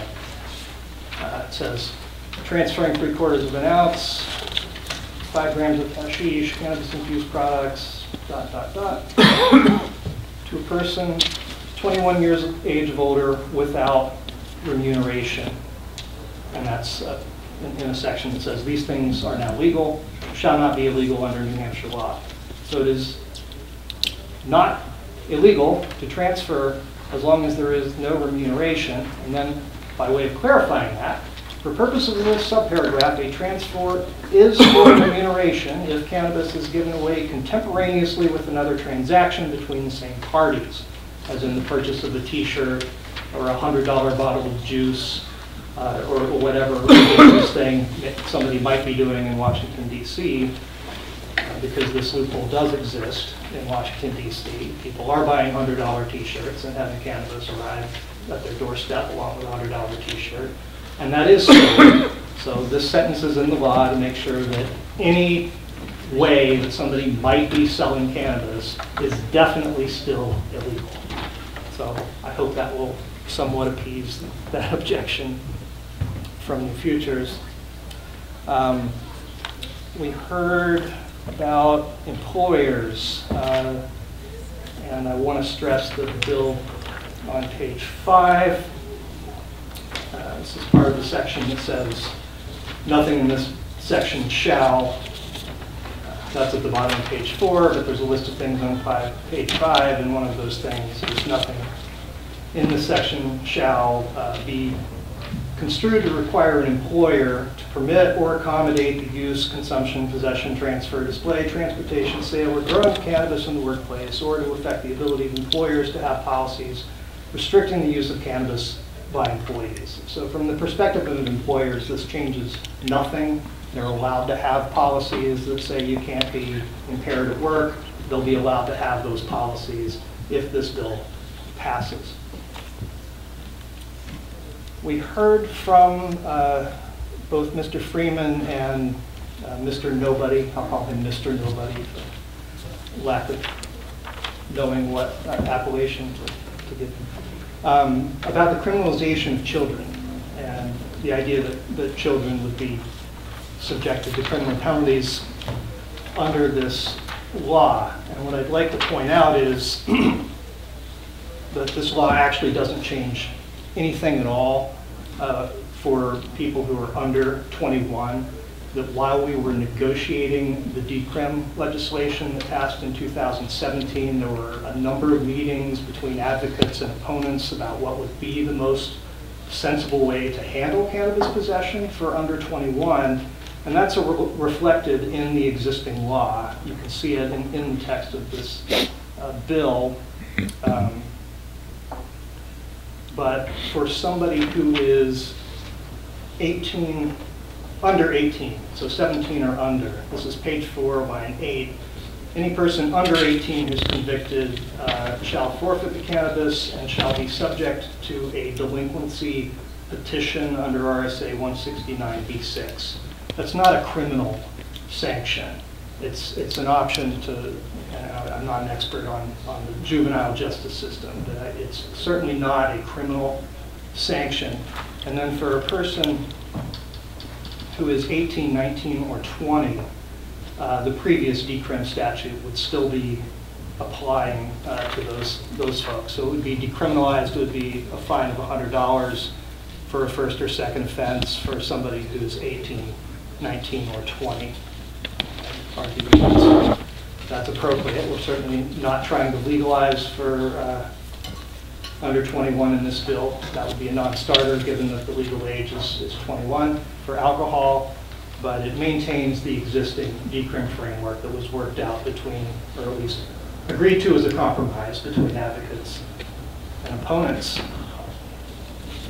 Uh, Finally, impaired driving, Uh, having worked closely with the Vermont legislature uh, leading up to their passage of a very similar bill and now law, the by far number one concern that people had, uh, the biggest concern stated by Governor Phil Scott, by his uh, uh, Department of Safety Commissioner, was impaired driving. They, they were very concerned that there would be a massive uptick in impaired driving in Vermont, and uh, that, that bill took effect uh, July, a year and a half ago.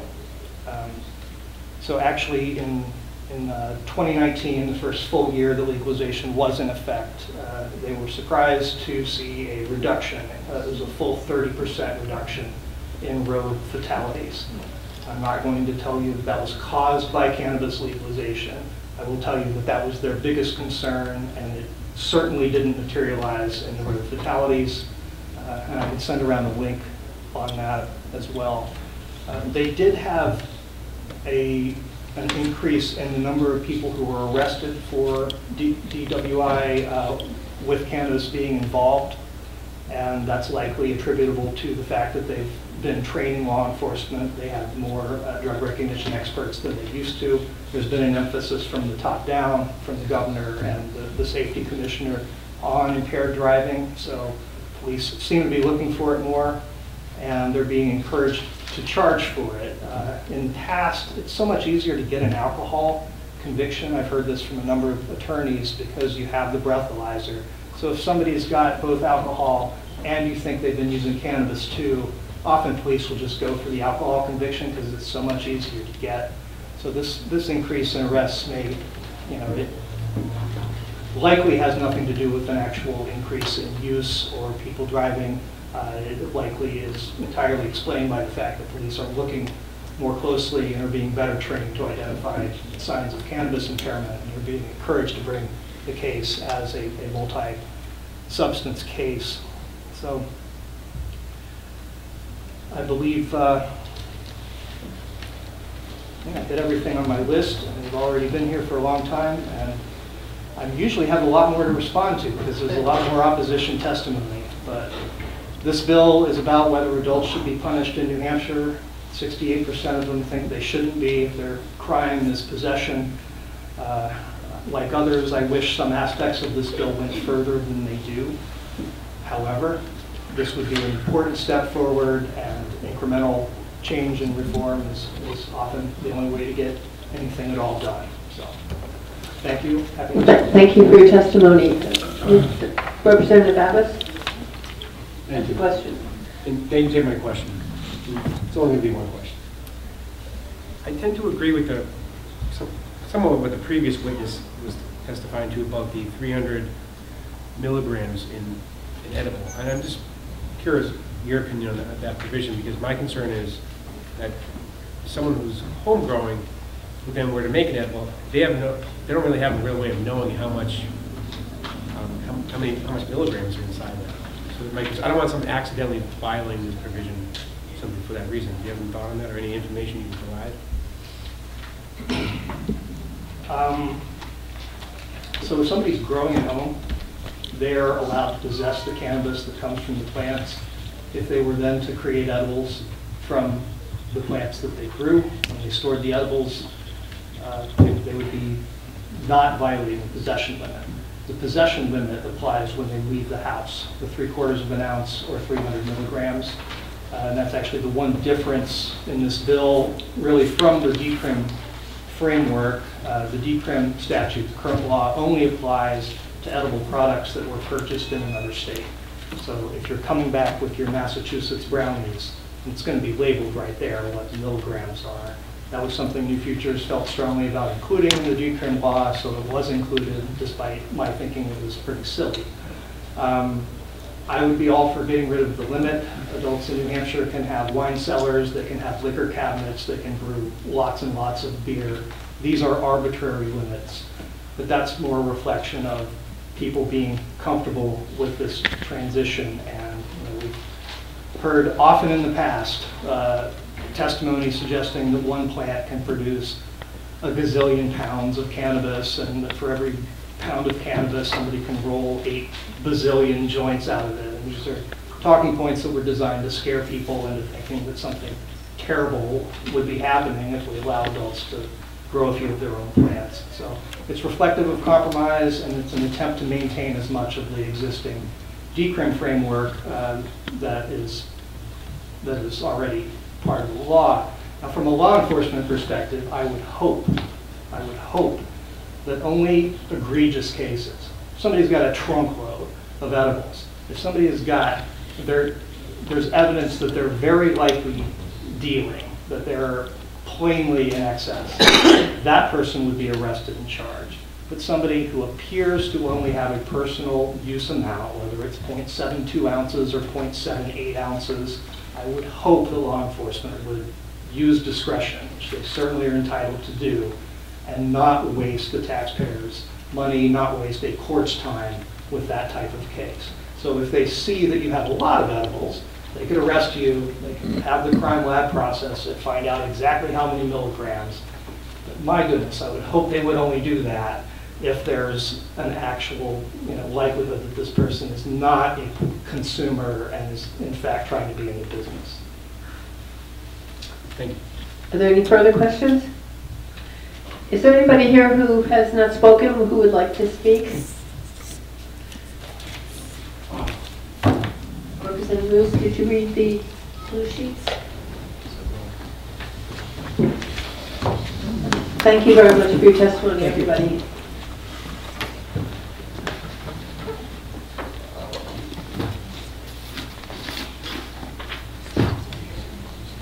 We have only one person signing in uh, opposing the bill.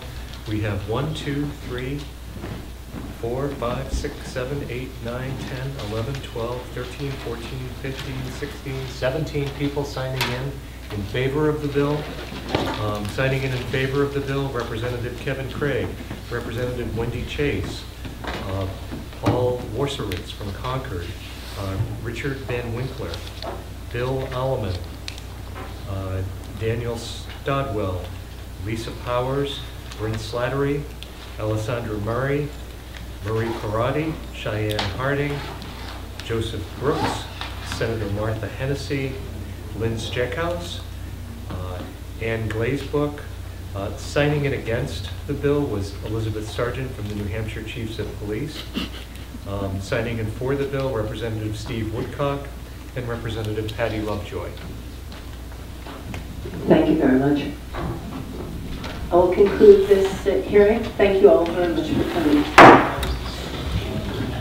So Tuesday, we'll be execing on a, a lot of bills. Everybody read up over the weekend and get ready, and this will be one of them.